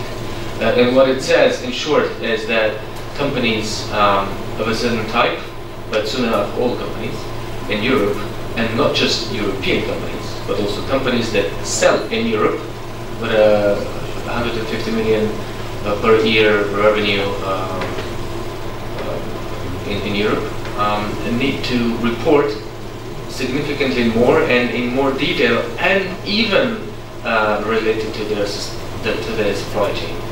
So what that means is that regulation will actually force, again, in Europe, companies to become more sustainable. I'm not sure if they become more green or greener, uh, because uh, as, as the new um, uh, color mechanism works, uh, if you put a bit of brown with a bit of brown, you might get a bit of green. Uh, so there's shades of green yeah, as well. Uh, but at the same time, we will see a tormented uh, SME sector in Europe that needs to do things that is unequipped to do, which is to measure their outputs and inputs, obviously, um, and to put it in a um, accounting uh, form that they are not used to, first of all, and second of all, that is expensive. It's a new cost. Uh, and there's, uh, well, where will the cost go to? To the consumer, as always. So um, I think this is a great idea in Europe, at least, the EU directives, also the greenwashing directive, but in the same time, which if it passes, but in the same time, it will create not just a, a, a cost for the consumers and the companies, SMEs in particular, but also large companies maybe, but it will also, or might lead to some form of competitive issues for some European companies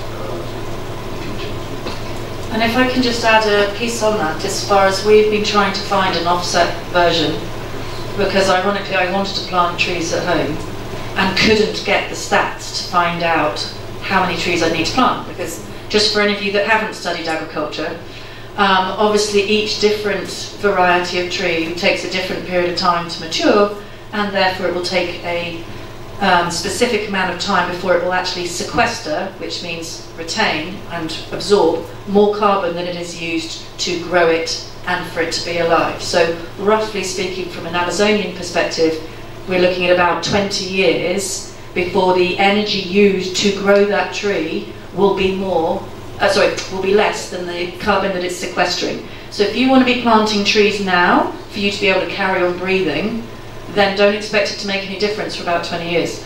But we're also looking, and that's not in a bad way, it's like it's, it's worth starting now. I guess was my takeaway from that is don't put it off because it needs to go in the ground today. But also is that actually, from that perspective, we're often putting the idea of carbon sequestration, for example, into different parts of the planet from where we are causing the issues. So it's also exploring what can you do closer to home. So we've had certain parts of London, for example, that have now got um, food being grown in the tunnels underneath the city. Um, I'm a mentor for a company called, uh, well, it's not a company, it's an organisation called Unreasonable, that essentially is all the most unreasonable um, ideas. So things like invasive species, turning those into sushi, being able to encourage carbon, um, uh, mentioned it, put the sea. The algae in the man mangroves. So it's really being looking at what can you have locally. If you're, you know, I've just been up in the boreal forests up in the north of Norway where they left the lights on all night. I was like, this is so simple. Stop trying to put in more energy creation. Just stop using what you've already got. Um, and it was really interesting how much pushback I got on that. And this piece that um, was in the last discussion, Ben, I think you mentioned about look at what we can do locally and just look at what you can do at home. And then when we're looking at that carbon offset, the carbon um, credits, I think, so will you be a good person, Andreas, to talk about carbon credits? Because there's also a piece which, just for my own personal part, I rail against, is the idea that somebody's going to cost you more in the human processing of what our carbon emission has been in comparison to what we're investing back into the system to get it sorted. So there are, don't give up, I guess is my piece for this little part, is find a mechanism that fits for you. So we've found charities that will therefore you'll be getting it as tax deductible that enable you to do the hundred, you know, the, the due diligence. But that doesn't fit for everyone if you're a much bigger business. So maybe this would be an opportunity to talk about carbon credits because that is an entire new market where people are then selling the carbon credit from one person to another. It is not the same as offsetting, it's very different. So maybe leave you guys to have an explore of that. Yeah, so a carbon credit is kind of the asset as such. An offset uh, is kind of balancing out uh, an emission somewhere else. Uh, the way a carbon credit turns into an offset is when you take it out of the circulation, you retire it. Um, so, so that's kind of one part. I, I also, on that note, and uh, a previous point that was made, um, and I think I think we all agree on the following that you know corporations that actively do not change just by offsets uh, and say we're neutral, that's complete bullshit. Pardon my language. Um, that won't be allowed in Europe either uh, in a couple of years. I mean, with the new directives, etc., you have to be like super transparent. And kind of back to that resilience point, I think maybe trying to have a crystal ball and, and look into the future being able to be brutally transparent. You know, maybe you have a 2030 goal or 2015 and worse. I mean, uh, focusing on effectively just delaying anything that, that kind of hindrances your, day-to-day business. Uh, but the second you introduce kind of real, actual transparency, for me being able to see, you know, what do you do at your event? How are you going to reach, you know, next year's target, whatever. And I can kind of test that. I can test that against my model, so I can understand that. Maybe I'll call you and give you some, you know, some advice, or the other way around. But the second you, you know, put those in the drawer, and you're not publicly available, you're not able to, you know, respond to a journalist, you're not able to respond to an academic. That's when it's getting, you know, to me, borderline uh, bullshit or more marketing. Uh, you have always some who does this, and some who, and I disagree with you, who use offsets as almost like a voluntary carbon tax. It's not instead of it's in addition to. And I think that's one of the main problems in all discussions on climate, all discussions on net zero, all discussions on climate neutral. It always ends up as a black and white discussion. It's yes or no to offsets. It's yes or no to this. It's yes or no to that. That's not the thing. To me, it's always, you know, it's a yes and. You know, if you are an airline, if you are a shipping company, the best thing you can do from a climate perspective is to shut down your business, which is not kind of, it, and, and it is. Uh, but that's kind of a bit rough to sell to your shareholders or stakeholders or passengers. A bit rough, I'd say. Um, but that, that, that would be the ideal situation. You know, just turn off whatever you do. That's the best. Uh, in setting, I completely agree. Um, you can replace, for instance, jet fuel with uh, biofuels, etc., etc., etc. But having offsets as one part of it, I strongly uh, I'm an advocate for that. Because say you're an airline Um, you can do maybe a 5% change by investing in new planes. Maybe you can do you know X percent by only using one engine when taxing. You know all these small things that, can, that you can do in kind of everyday operations. But just saying, let's wait until maybe hydrogen, let's wait until maybe batteries, let's wait until maybe you know whatever comes next. That's a 2050, 2060 thing. Until that, to me, it's better to do something. It's not perfect. It doesn't reduce my emissions flying from Oslo to here, but at least I'm addressing it. I impose a voluntary carbon tax on myself, which to me is better than pretending and sit here and talk about the problem, but really not doing anything. Yes. Uh, first, uh, there is no one type of carbon credit. We cannot talk about a carbon credit as one thing because uh, mainly uh, you mentioned um, uh, your uh, speech is about voluntary carbon uh, part. And uh, there is mandatory schemes like EU ETS and some other mandatory schemes over the globe. And there is a new mechanisms allow the countries to sell their uh, transferable mitigation actions under the uh, Article 6 of Paris Agreement. So uh, even country level, you can offset uh, your emissions uh, with the, some others removals. so there is a big world for carbon. my first um, climate conference at Bali 2007, we were talking about if it's possible to uh, have a one uh, carbon price over the globe. So we see it's not possible actually.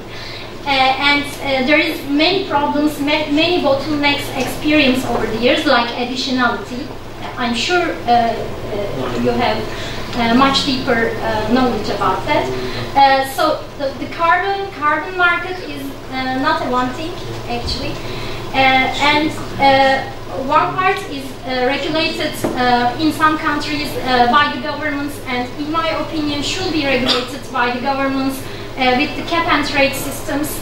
I mean there is a limit for certain industries and if you are above the limit you can sell to the ones they are below the limit. this is the, the basic uh, working technique of uh, cap and trade system.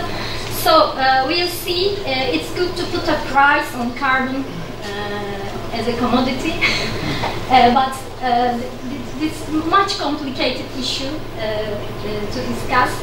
And uh, actually, I would also add uh, to uh, my colleague's point about uh, the, the, policies and the role of policies in uh, the, the, future resilience of business. I think the, the climate policy is already uh, part of uh, the trade and uh, part of the competition uh, and this is already a new normal for the business. So this is another pillar to, to build a capacity to be resilient. Brilliant. And um, Dr. Dr. I'm so sorry, we, you've come and joined us a little bit late, so apologies that we haven't included you earlier on the discussion. No so, um, would you like to give us your viewpoint on business resilience and where that fits with uh, developing uh, ways forward towards reaching net zero? Yes. Welcome to Gaziantep. Welcome to Turkey. My name is uh, Ibrahim Andikshi. I am from uh, Gaziantep. I'm living in Gaziantep and I'm studying in finance and uh, and I'm working at Gaziantep University as professor and I am studying and uh, finance. Uh, if possible, uh, with your permissions, uh, I want to speak as Turkish. Yeah, of course. Uh, and I have papers about climate finance. You can see that's my scholarship. E, küresel ısınma e, değerli katılımcılar e, ve beraberinde gelen iklim değişiklikleri iklim finansmanı kavramını malumunuz ortaya çıkarmıştır. İklim finansmanı e, kabaca e, yeşil yatırımların e, veya daha az karbon yayan yatırımların e, yatırımlar için gereken finansmandır malumunuz.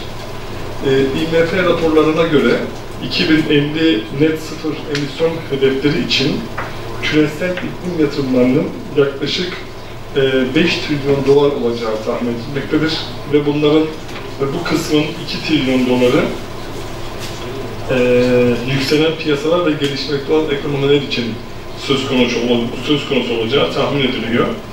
E, malumunuz yükselen ekonomiler ve e, gelişmekte olan ülkelerdeki finansman sorunu e, bunun önündeki, iklim finansmanının önündeki en büyük engel. E, Türkiye gibi gelişmekte olan ülkelerde e, finansman sorunu, firmaların finansman sorunu ne yazık ki e, had safhada. Bu iklim finansmanının e, veya iklim değişikliğinin bana göre önemli boyutu. Finans çalışan birisi olarak konuşuyorum. E, iklim değişikliğinin finansmanı veya iklim finansmanı bana göre firmaların önündeki en büyük sorun. Her ne kadar olayın pazarlama, yönetim boyutu olsa da bir finans çalışan, bir finansçı olarak konuşuyorum. Ee, en önemli sorunlardan bir tanesi de finanstır. İklim finansmanı, iklim değişikliği ilgili. Şu anda malumunuz e, iklim finansmanı için gereken birkaç tane kaynak var. Birincisi bankalar ve diğer finansal kuruluşlar. For example, leasing. Yani e, end banka kredileri. İkincisi yeşil sermaye piyasası araçları, green bond dediğimiz yeşil sermaye piyasası araçları. İşte Türkiye olarak yaklaşık 10 yıldan beri e, firmalarımız, özellikle finans sektöründeki firmalarımız yeşil e, tahvil, green bond e, ihraç ediyorlar. Üçüncüsü kamu kaynaklı krediler ve hibeler. İşte tam bu noktada zaten Türkiye gibi ülkelerde sorun yaşanıyor. Dördüncüsü e, AB fonları ve beşincisi de Avrupa İmar ve Kalkınma Bankası gibi uluslararası kalkınma kuruluşları. Toplamda şimdilik 5 adet iklim finansmanı için firmaların yararlanabileceği kaynak var.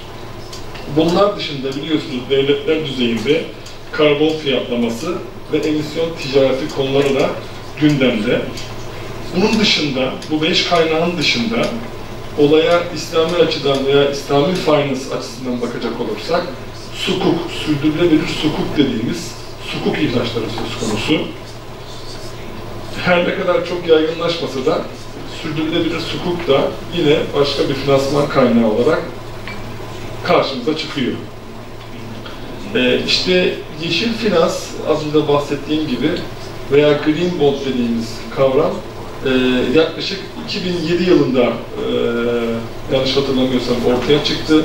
İlk olarak Avrupa Yatırım Bankası bunu ihraç etti ve şu ana kadar 2 trilyon doların üstünde green bond ihraç edildi. Yeşil finans, yeşil tahvil ihraç edildi. Ee, şimdi burada ortaya çıkan temel faktör firmaların bu e, yeşil finans için veya iklim değişikliği için gereken kaynakları nereden bulacaklar? Zaten e, dünyada malumunuz faiz oranlarının, interest rate'in bir artışı söz konusu. Yani bu ortamda finans kaynaklarının maliyeti yüksekken bu gereken finansı nereden bulacağız? Bana göre tartışılması gereken firmalar bazında, firmalar tarafından tartışılması gereken en önemli soru bu. E, bu vesileyle tekrar hoş geldiniz diyor, teşekkürlerimi sunuyorum.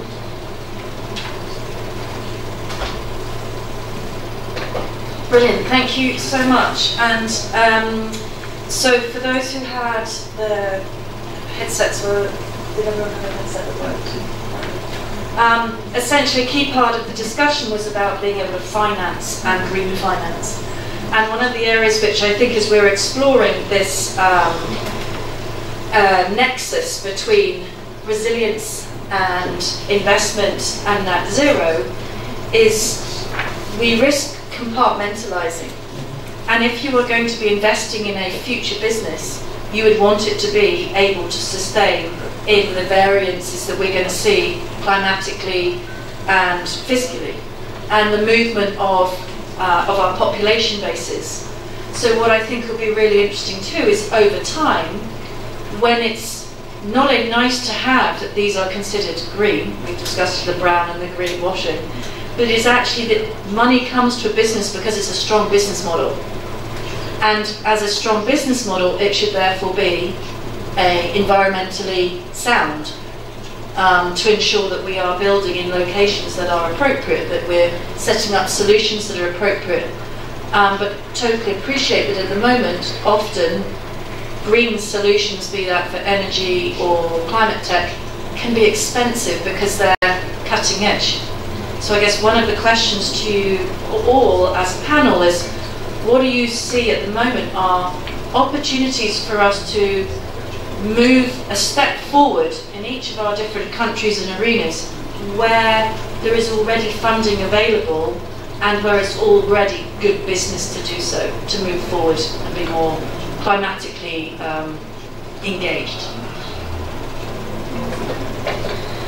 Actually, I'm not a finance person, so my view is not really about finance, but you know, uh, we are hearing, reading that uh, some billion dollar needed is needed for uh, to to be carbon neutral or just to to meet the goals of 2050 and something.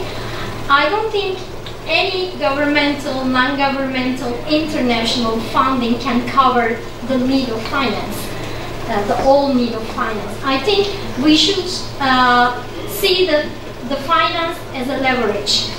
I mean, leverage uh, for the transformation. We cannot cover all, all needs of finance. This is just a leverage. And uh, if, I mean, uh, business uh, really wants to be a resilient, uh, I mean, they can use this leverage uh, very intelligently and I think the, there is no, no, no source uh, to cover all the need of finance. Um, I completely disagree because I'm very optimistic. Now, the, we have a gap of about 33 trillion uh, to cover the SDGs and so on, whatever you want. Uh, in the same time, the sustainable, sustainable uh, investment based assets are roughly the same amount, going to, to 50 billion anytime soon.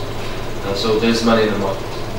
Second, uh, it depends what you do with the money, of course. But I want to come back to what the gentleman uh, said. Um, and how do companies, where do you get the money to either go climate neutral, net zero, plus one, or all the buzzwords, right? Like AI, resilience, we have all the words, right? Uh, so what happens is that I think we are uh, in a very good place in Europe, um, maybe even better in the States, but looking at Europe uh, from this perspective, there is significant amounts of money uh, that companies can get, not easy, but there's money there, either through the national uh, resilience and uh, recovery plans. Um, Romania has about 35 billion euro for the next years, for the next three years, two and a half years, out of which a significant amount is related to environment. Uh, and this is valid to from Spain all the way to Finland and, and other countries. Second, uh, the EIB, so the European Investment Bank, but also um, other uh, European financial entities or international financial entities like the IFC, the International Finance Corporation, uh, have significant amounts of money that they're ready to put in for this, let's call it green transformation. There's another buzzword. Let's use that. Four years. That is because Turkey is not in the EU. No, no, Uh, not Turkey. okay. Even, even uh, the all countries under the Union of Turkey. Uh, at least in Romania, we're very happy to see that money functioning, and also in the case of Moldova or, or Bulgaria and other countries. But uh, there is one thing where the money is um, and is not really being used that much, which is the banking system, uh, which works acceptably, in Europe. For example, in Romania, uh, just give you one example, this is the third bank, so this is not the biggest bank. Uh, it's uh, the Societe Generale uh, branch in Romania, which has by 2025 1 billion euro to invest, or better said, to give loans uh, in sustainable investment or sustainable finance. Uh, and we will go over the 1 billion because it's almost 950 million, so in two years to go. Um, this is about 15 to 16 of their overall portfolio. Uh, and there's other banks in Romania, and I know other cases in Bulgaria um, and Croatia, where banks go from 10 to even 22% of their entire portfolio. That is usually green money, so it's not uh, that much used for uh, social issues, for example, or other types of, uh, of loans. Um, they're green, but there is money on the market, and um, it's not very expensive. And the banks need to do it, or want to do it. I'm never sure if they want to do it or they need to do it. Um, so I think this will happen more and more uh, in more countries, not just in, in, Europe, but also in Latin America. Plus, there's other um, uh, types of, of money for the SME sector. The big companies have a way of dealing which is sometimes a bit easier. But the SME sector, and I'm not talking about the small and micro, but more the medium, so, so 10, 20, 30 million euro revenue, um, there's more and more financial opportunities for them. And I think this will grow in the future, also because they become more financially educated. And they understand that you don't just, you can take money to become sustainable in many forms, financial instruments, but also for many or for other types of um, interventions within your company. Because in the past years, more entrepreneurs become more climate literate uh, or green literate, whatever other buzzword you can use. So I, am hopeful uh, to come back to, what you said, to what you asked. But at the same time, I'm also very cautious because it's very it's very silos based, uh, and the more uh, at international level, the more um, um, geopolitical challenges and trade wars we have, the more it's going to be complicated to look at it holistically, not just in geographies or, or NAFTA, EU, or and you also get stuck on size. So like you said, small, medium enterprise being 5, 10, 20 mil, and those at the bottom who are wanting to be grassroots change makers get stuck trying to create change with no access to relative funding. And I've been with microfunding. So the seed funding can often be very hard. So again, the invitation to all of you as listeners is ask every single such human being that you are interacting with. Who is selling you your vegetables? Who's selling you your engine, your your electricity? Who is selling you your home? who's taking you on holiday, which airline are you getting on, so that we were talking earlier about risk versus reward. Make it rewarding for those who are making the effort. Because otherwise, if there's no risk, why would somebody bother unless they are emotionally engaged and want to do the right thing? But if there is no risk, why would somebody bother having to pay an extra amount or give funding to where people are wanting to do the right thing, but the return, fiscal return on investment may not be obvious? And one of the other parts I would just suggest is where would you sit on having your business hacked? Having a cyber attack? Reputational risk now from a cyber attack is a zero sum game. It should never happen. It is not acceptable. The banks have to pay you back if your money is taken.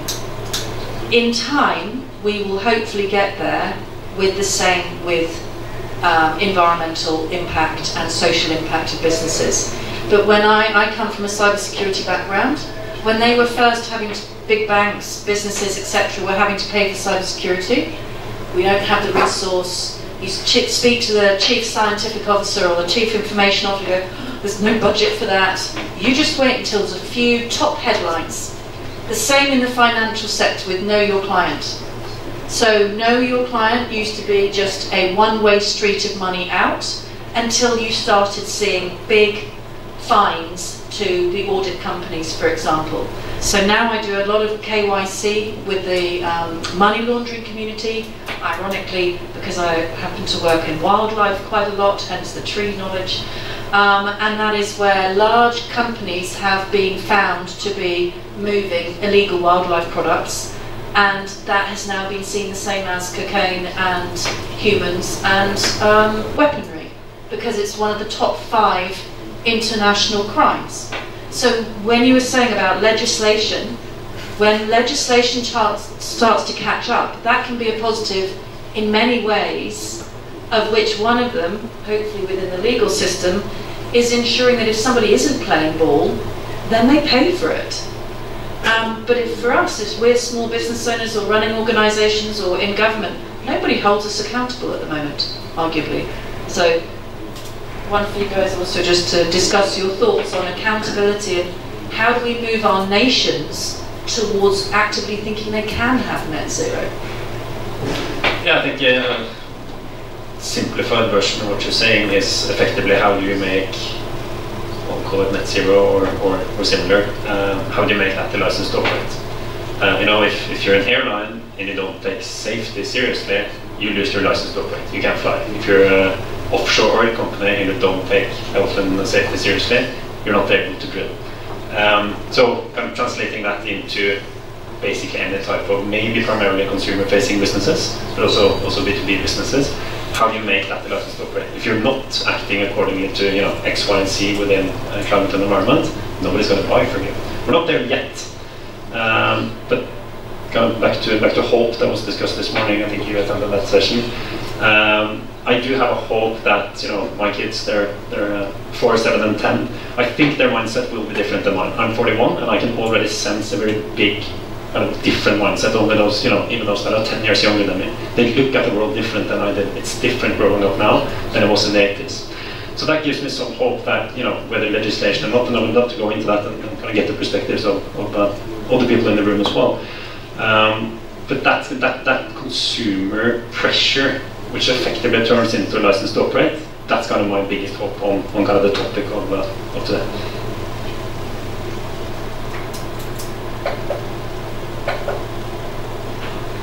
Again, I uh, mention about adaptation and finance uh, in relation with accountability.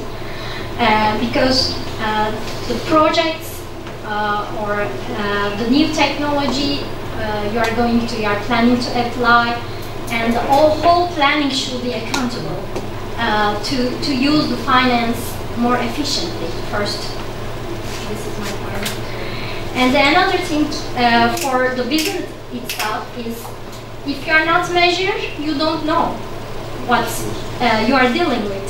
And if you don't know, you cannot ma manage uh, your system. So uh, whether uh, you have carbon neutral, climate positive, uh, whatever target you have, you should go with the measurement and the monitoring approach to be accountable uh, for finance, uh, for your business sustainability, uh, and uh, for the future goals. this is uh, this is the most important part of accountability for me.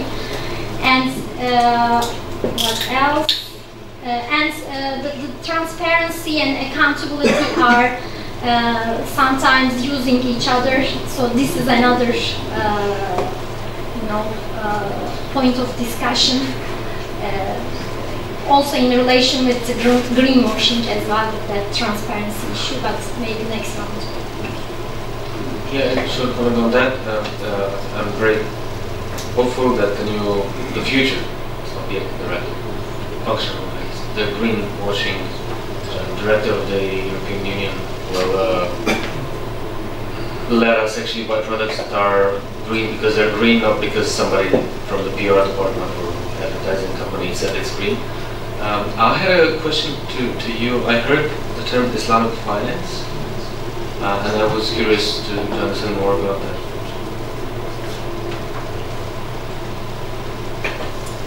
Ee, şimdi e, iklim finansmanı konusunda e, klasik veya konvansiyonel e, fırsatların dışında veya finansmanların dışında e, sukuk dediğimiz e, İslami bankacılık temelli e, seküritistler de var.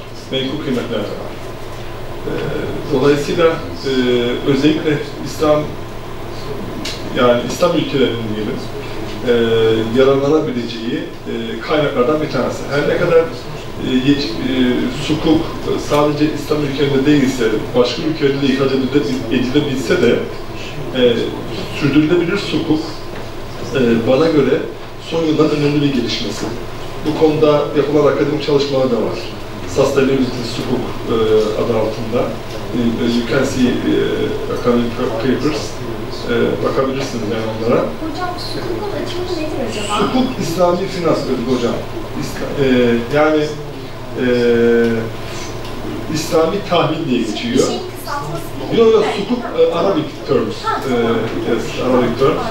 E, e, son yıllarda sürdürülebilir sukuk, sustainability sukuk kavramı gelişti. Son birkaç yılda gelişen bir kavram. E, işte İslami duyarlılığı olan e, kişilerin, ülkelerin kullanabileceği bir enstrüman. Bir financial instruments. Bir sukuk. Yani bu konuda yeni bir gelişme olduğu için belirtmek istedim. Teşekkür ediyorum. Thank you. I wasn't. I, I heard about it, but I wasn't sure what that is. I didn't want to assume.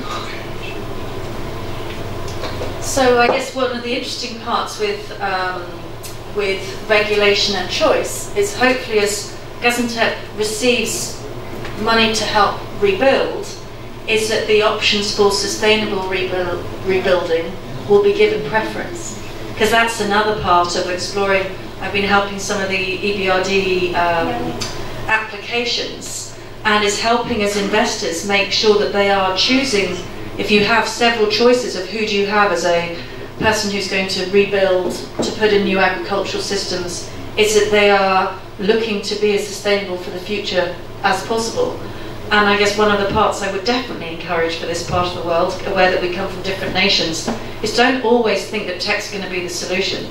Sometimes the best solutions were created two million years ago, or you know several thousand years ago. I've worked in Afghanistan, and the water systems there are phenomenal. Um, you know, you have some really amazing long-term knowledge within the peoples of each land, and it's also taking time as we look for what will work longer term. Is sometimes look back and use hindsight to create that foresight. Um, and I hope that as you rebuild, is that some you will integrate both new ways of working and historically well-known ways of working as well.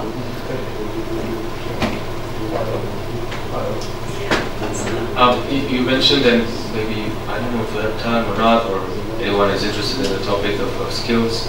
Um, one thing that, at least in, in Central and Eastern Europe, where we operate mostly, um, is we see when we talk to SMEs, but also large corporates, uh, and we go through some of the challenges that they have related to this uh, sustainability transition. The second, usually after capital, is people.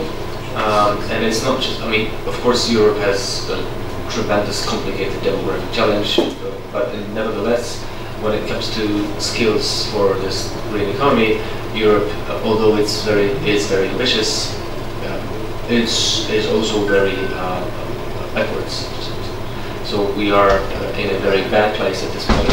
Um, and and um, data, for example, from the European Vocational Ag- Agency, Vocational Education Agency, um, shows that with some exceptions, most European countries uh, in, by 2030 will not have had enough uh, skills, uh, skilled uh, individuals in the green economy. So we're talking about waste management, we're talking about um, renewable energy, we're talking about diversity, etc. I'm not going to go into them. There, there's quite a lot of them, and it's not just about the environment. It's, it's uh, I think it's wrongly put green skills gap. I think it's sustainability skills gap. Um, but it's mainly, of course, about, about uh, green. Uh, and the second point on this uh, green skills skills gap um, is that uh, the other continents are not doing well either. So it's not a European problem. We can't really import anyone uh, as we would like to. Um, and the question is, we all want this new uh, green revolution, but there is no revolution. We're you know, not that many of us. Uh, and in practice, how this works is that we need to invest more in technologies that replace um, the missing uh, people or the missing activities that these people have. Uh, and there are some use cases uh, for, for, for this to work, but it's still a, a long shot. We do not have enough time to create or to reskill people or to upskill, if be the case.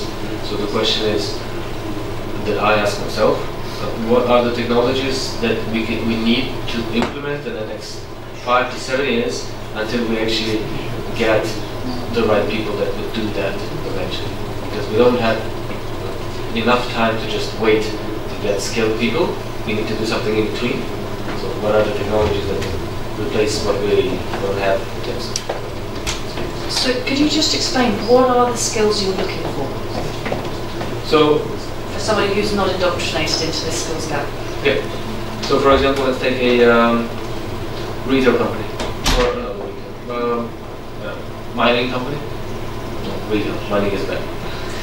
You know, you know. Um, We've all drunk out of plastic water bottles since we've been here, and we're also all having glass, of which everything has had to be lined. So if Yeah. anybody is drinking from anything here, we're all responsible. So, so a, a retail company that wants to become more sustainable uh, would need someone that has the experience and the knowledge, either internally or through a consultant, that could help them with their waste management process, or somebody that could help them with their diversity uh, policies, somebody that could help them uh, attract better and, and uh, easier to get the finance and taking sustainable finance. So that's why I say it's a, it's not just a green skills gap, it's a sustainable sustainability green uh, skills gap. So I think what's interesting here is, is it a skill gap or is it a mindset gap? No, it's a skill gap. It's not about mindset. It's about knowledge. Um, it's about. It's not about being um, um, um, having a different mindset. It's about having a different type or more um, competencies. Let's call it. Yeah. Maybe it's not skills, uh, but, but skill is so overused, right? Um, uh, and we see this even in um, our the former employer of of Frank. Um, the latest future of work report in January uh, showed the number one, the, the number two most desired and needed job in the world is a sustainability spe- specialist. So there is a huge need and a huge gap, and we need to fix it ASAP. But if we can't fix it, what technologies can we use until we fix it? And if not, somebody available. Yes. EVR. Uh, There will be a skill gap for sure, but uh, we should achieve this transformation with no one left behind, as said. So uh, there will be some others losing their jobs, and we will uh, need some other uh, people with some new skills. So, uh, and I just searched for uh, the term of just transition, and I just found out that this uh, terminology uh, first used in uh, United States in 80s actually uh, by the trade unions. Uh, they just uh, uh, defend the workers uh, by the change of technology. So uh, th- this transformation shouldn't be seen only as a constraint on the yeah it's it's a change but uh, I just again uh, uh, want to underline that we shouldn't left no one behind. We should transform the existing generations and next generations. If you look at my LinkedIn, it's surprisingly how many people all of a sudden are climate experts and sustainability experts, but that's not the skills we're talking about. Uh, I mean, uh, as a former oil lawyer, it's an absurd amount of my ex-oil colleagues who are now sustainability lawyers, which is absurd. But that's not real skills nor uh, competence.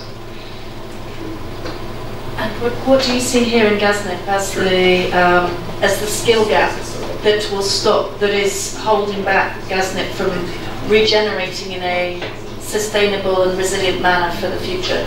Is there a skill gap here?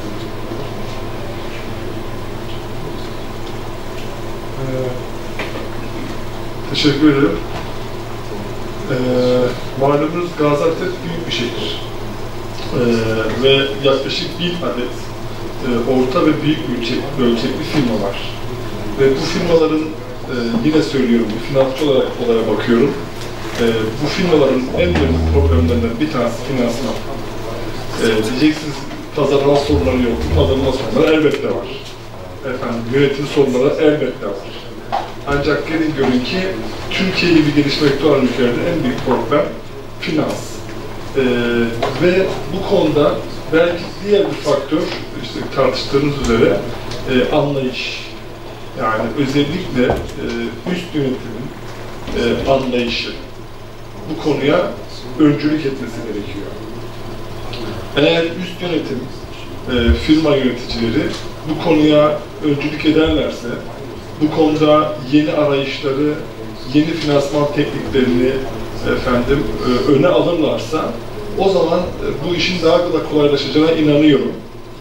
Bir de burada devletin e, öncülük etmesi gerekiyor. Devletin e, bu firmalara kolaylık sağlaması gerekiyor. Özellikle az önce e, bir Sanesco bahsetti. E, finansal okuryazarlık, yöneticilerin finansal okuryazarlığının geliştirilmesi anlamında e, bu konu önemli. E, eğer e, yöneticilerin finansal anlayışları, finansal okuryazarlıkları gelişirse e, bu konunun daha da kolaylaşacağına inanıyorum. Çünkü e, konu konu yeni, e, rakamlar büyük, hal böyle olunca hem anlayış, hem destek, e, hem de uygulama ön plana çıkıyor. Ben böyle düşünüyorum. Teşekkür. So potentially, if one of the areas is financial acumen, then it's also people who can provide good modelling to demonstrate why investing into sustainable and resilient options is more fiscally viable long term than the short term quick win of here's something cheap versus here's something that's going to last 10 years rather than 10 months. So we need good financial modellers. And, uh, and on that happy note, that is exactly what I currently do in London, is every time somebody wants to put in a more resilient and sustainable option, we get them to model it to financially demonstrate why it's more resilient for the business and more financially viable longer term, as in three, four, five, six, seven, eight years out, than short term. So it demonstrates why a short term hit financially is worth long term gain. So aware that we're standing between uh, you and dinner, is um, could we have please any questions? Sorry to be rather late asking from around the room. Any questions from anyone from that's patiently been here with us on this journey? Or complaints. so maybe if you know the situation in banking prison, Well, what's just happened? so the banks took the money. The, the, So the Netherlands, the banks. Yes. So they stole the money of everyone of everyone. So I heard you talking about banking. So what is what is the solution? I don't know the there's solution. Maybe they should to go to jail everyone, even the government. So what do you think about it? You know, and, you know not, not, not enough to be able to speak immediately, but I would say it's a really interesting option given the fact the government will be using those banks to finance as well. So Yeah, they give, they give them everything and they stole the money from everyone. Well, and I think uh, corruption and uh, civ-like uh, financial institutions, we could be here for a whole nother panel. But yes, unfortunately, that is one of the challenges is when people do not use resource how it was intended to be used when, when money has been given or money is in a location that then gets moved. We need more international accountability for that. Uh, sorry, that's not an, an interest, but as I've seen it in many different war zones, and the money disappears. It comes in cash and it disappears within hours. Um, so this is also where mindset and humans need to be really strong on who do they find accountable. And unfortunately, fear is a very powerful piece. And when you're dealing with people who move money legally, often that will involve organised crime, mafiosa, and etc. And it's really yeah, we're talking slightly in the microcosm here of people who are trying to do the right thing. And yes, maybe one we haven't been able to explore is how we also navigate the grey space, where there are many people that don't want this to succeed. And one of the topics we haven't been able to cover today are the barriers to entry.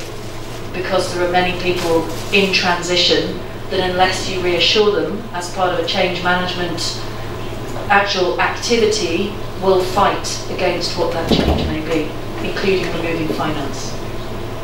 Um, so sorry I can't give a more expanded answer, but Yeah, it's hard to solution. yeah. And when you're wondering why people used to hide the money in a suitcase underneath their bed, now we all know why. We have time. Uh, no, time, time is your, but I think just uh, if you'd like to, we're, we're here for you. Yes, uh, just uh, one question. Yeah. We waited an hour at the start, so if it takes us a few more minutes now, then I don't think it's a question. First, um, I don't think there, there will be live television by 2050, but it's a good. There'll be what, sir? Live television. Live television. How about your story? Like when we were in 20, Ah. 2050, we turned TV on. nothing. Ah, okay, I don't know. But um, and when we were back in the days when we were in the forest, human beings were in the forest, we used to consume like 5,000 calories in a day. Um, nowadays, um, an, an average American um, weighs like 260,000 calories. Most of those calories come, um, it, it, doesn't eat it, it is like the fire, the, use, the car, the, the housing, the transportation. In a day, he uses like 20,000 and 60,100 calories. Most of that comes from, from carbon emission companies. So uh, I wonder if there's room for them diminishing that. But at the same time, we all know that uh, economy has to grow year by year, and, and that you know, growth comes from more and more consumption. So how do, how do you deal that dilemma that uh, we need to consume more, but then at the same time, uh, in order for the economy to crash? From, an economic standpoint. I, I, I try that question, and then from, from I'm from South America, um, so from a South American standpoint, um, maybe there, there, there's a lot to do with, with, climate change and uh, all you people from the north are, are making all these carbon emissions, and they say that you take care with your forest of, of all the mess that we are doing. Uh, but when it comes to a farmer in, in the middle of, of Brazil, it gets to a point of is, is it profitable for him to, to destroy the, the, the forest and raise, raise cattle, or, or it should be more profitable to, to plant trees or, or leave it that way? So uh, it's an economical dilemma in, in that way also, you know, like in, in countries like Brazil or I mean, uh, where the forests are Big yeah. Um, so I might able to just give two brief anecdotes to help on maybe some uh, something to help us all explain, explore our own bias. So um, I had some exposure to Coca-Cola uh, when somebody, um, not by drinking it, I do occasionally have America's national drink, but not very often. Um, when a peer essentially was told, oh, by the way, I've just said that uh, Coca-Cola will be water neutral. And in America, the marketing for Coca-Cola is very different. It used to be you can you go to a restaurant, you have as much as you like. So the value per litre for Coca-Cola value is very different to say, for example, you go to Switzerland, where you might be spending, or Norway, where you might be spending ten pounds for, you know, a can of Coke. So there is also a value system analysis. So our assumption that you need to use more to make more profit, I think is something for us to explore. And that when you're able to actually give credit to someone who uses less, um, so uh, we're working with a team in Ecuador, for example, at the moment, looking at food sovereignty. And the superfoods that are created inside the Amazon would have a huge premium if they had enough to be able to share. But at the moment, the population base barely has enough to feed itself, let alone to then export, because it's had palm oil, etc., swapped in. So I think this will come back to your financial modelling, is if you can get somebody who is imaginative with the financial modelling, so we've been exploring how do you fund the reforestation through charity, because that's tax deductible, this end. You're helping the food sovereignty at the other end, at the equatorial end, changing using policy, where now you've got European policy that says you cannot have any form of trees coming in that show deforestation. So we're dealing with how do they legally do that. And then you're also exploring palm oil, which many of the charities have been encouraging because it was a cash crop, helping them set up their own strategy for evolution now of what has, in the past, they've said this is a good thing. They now have to persuade the population base, no, we're changing strategy, is many different moving parts. But I think our natural narrative that you need to use more to make more is a key piece we need to address. So one of the areas we always try and encourage everybody is to use less tomorrow than you did today. And if you're using less tomorrow than you did today, eating, I know I need to encourage myself for that, um, but it's all of these different areas. And then work out where's the differential, where are the things you really feel are difficult for you to change? And find some quick wins. And then be able to work out what are the complex parts. So just before we finish tonight, or where do we stand between us and dinner, one piece please from all of the panel that gives you hope that we will be able to hit the net zero targets for our own nations or internationally. One piece of hope from each person. I have no piece of hope. Uh, so I have no hope on that. Okay. Uh, I try to be a bit more realistic. Um, what I do have hope for is progress towards uh, net zero or ideally uh, other types of zeros like negative ones. Yeah. Uh, what I do see as sources of optimism, which is different than hope, um, um, is related uh, in, in Europe, because this is where I um, have a better understanding, is related to regulation, to uh, what we heard earlier with uh, a new generation of children, which my children are part of as well. Uh, and third, to a change in the way the financial system operates, uh, where we finally have data that shows that yields for sustainable um, funds are equal and sometimes higher, not marginally higher, but still higher than traditional funding.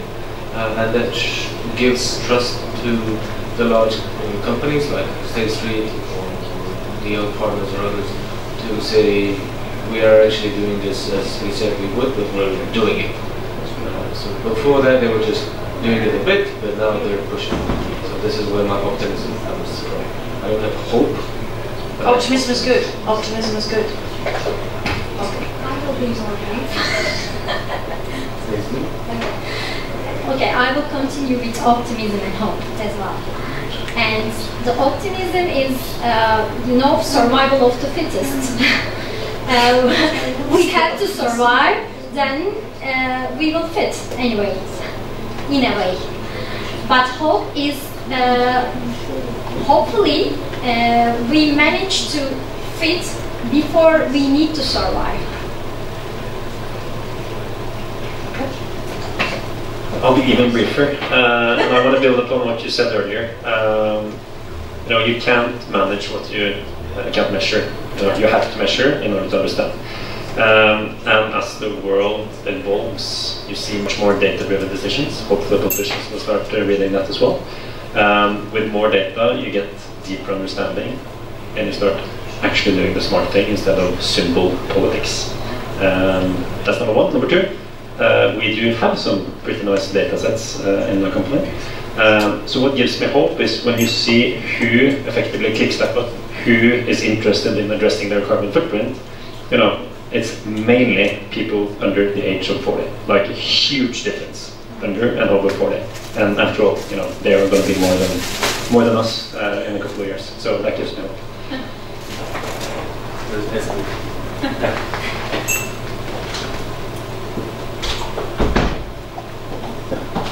Bu anlayış konusunda kesinlikle haklısınız.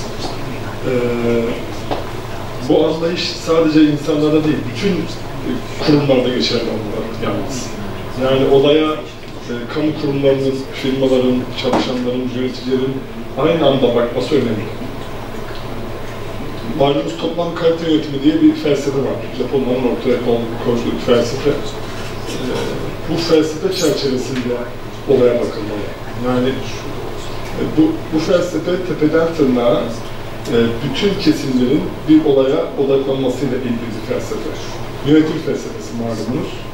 Ee, aynı felsefeyi burada da sürdürülebilirlikte de iklim değişikliğinde, iklim finansmanında da uygulayabiliriz diye düşünüyorum.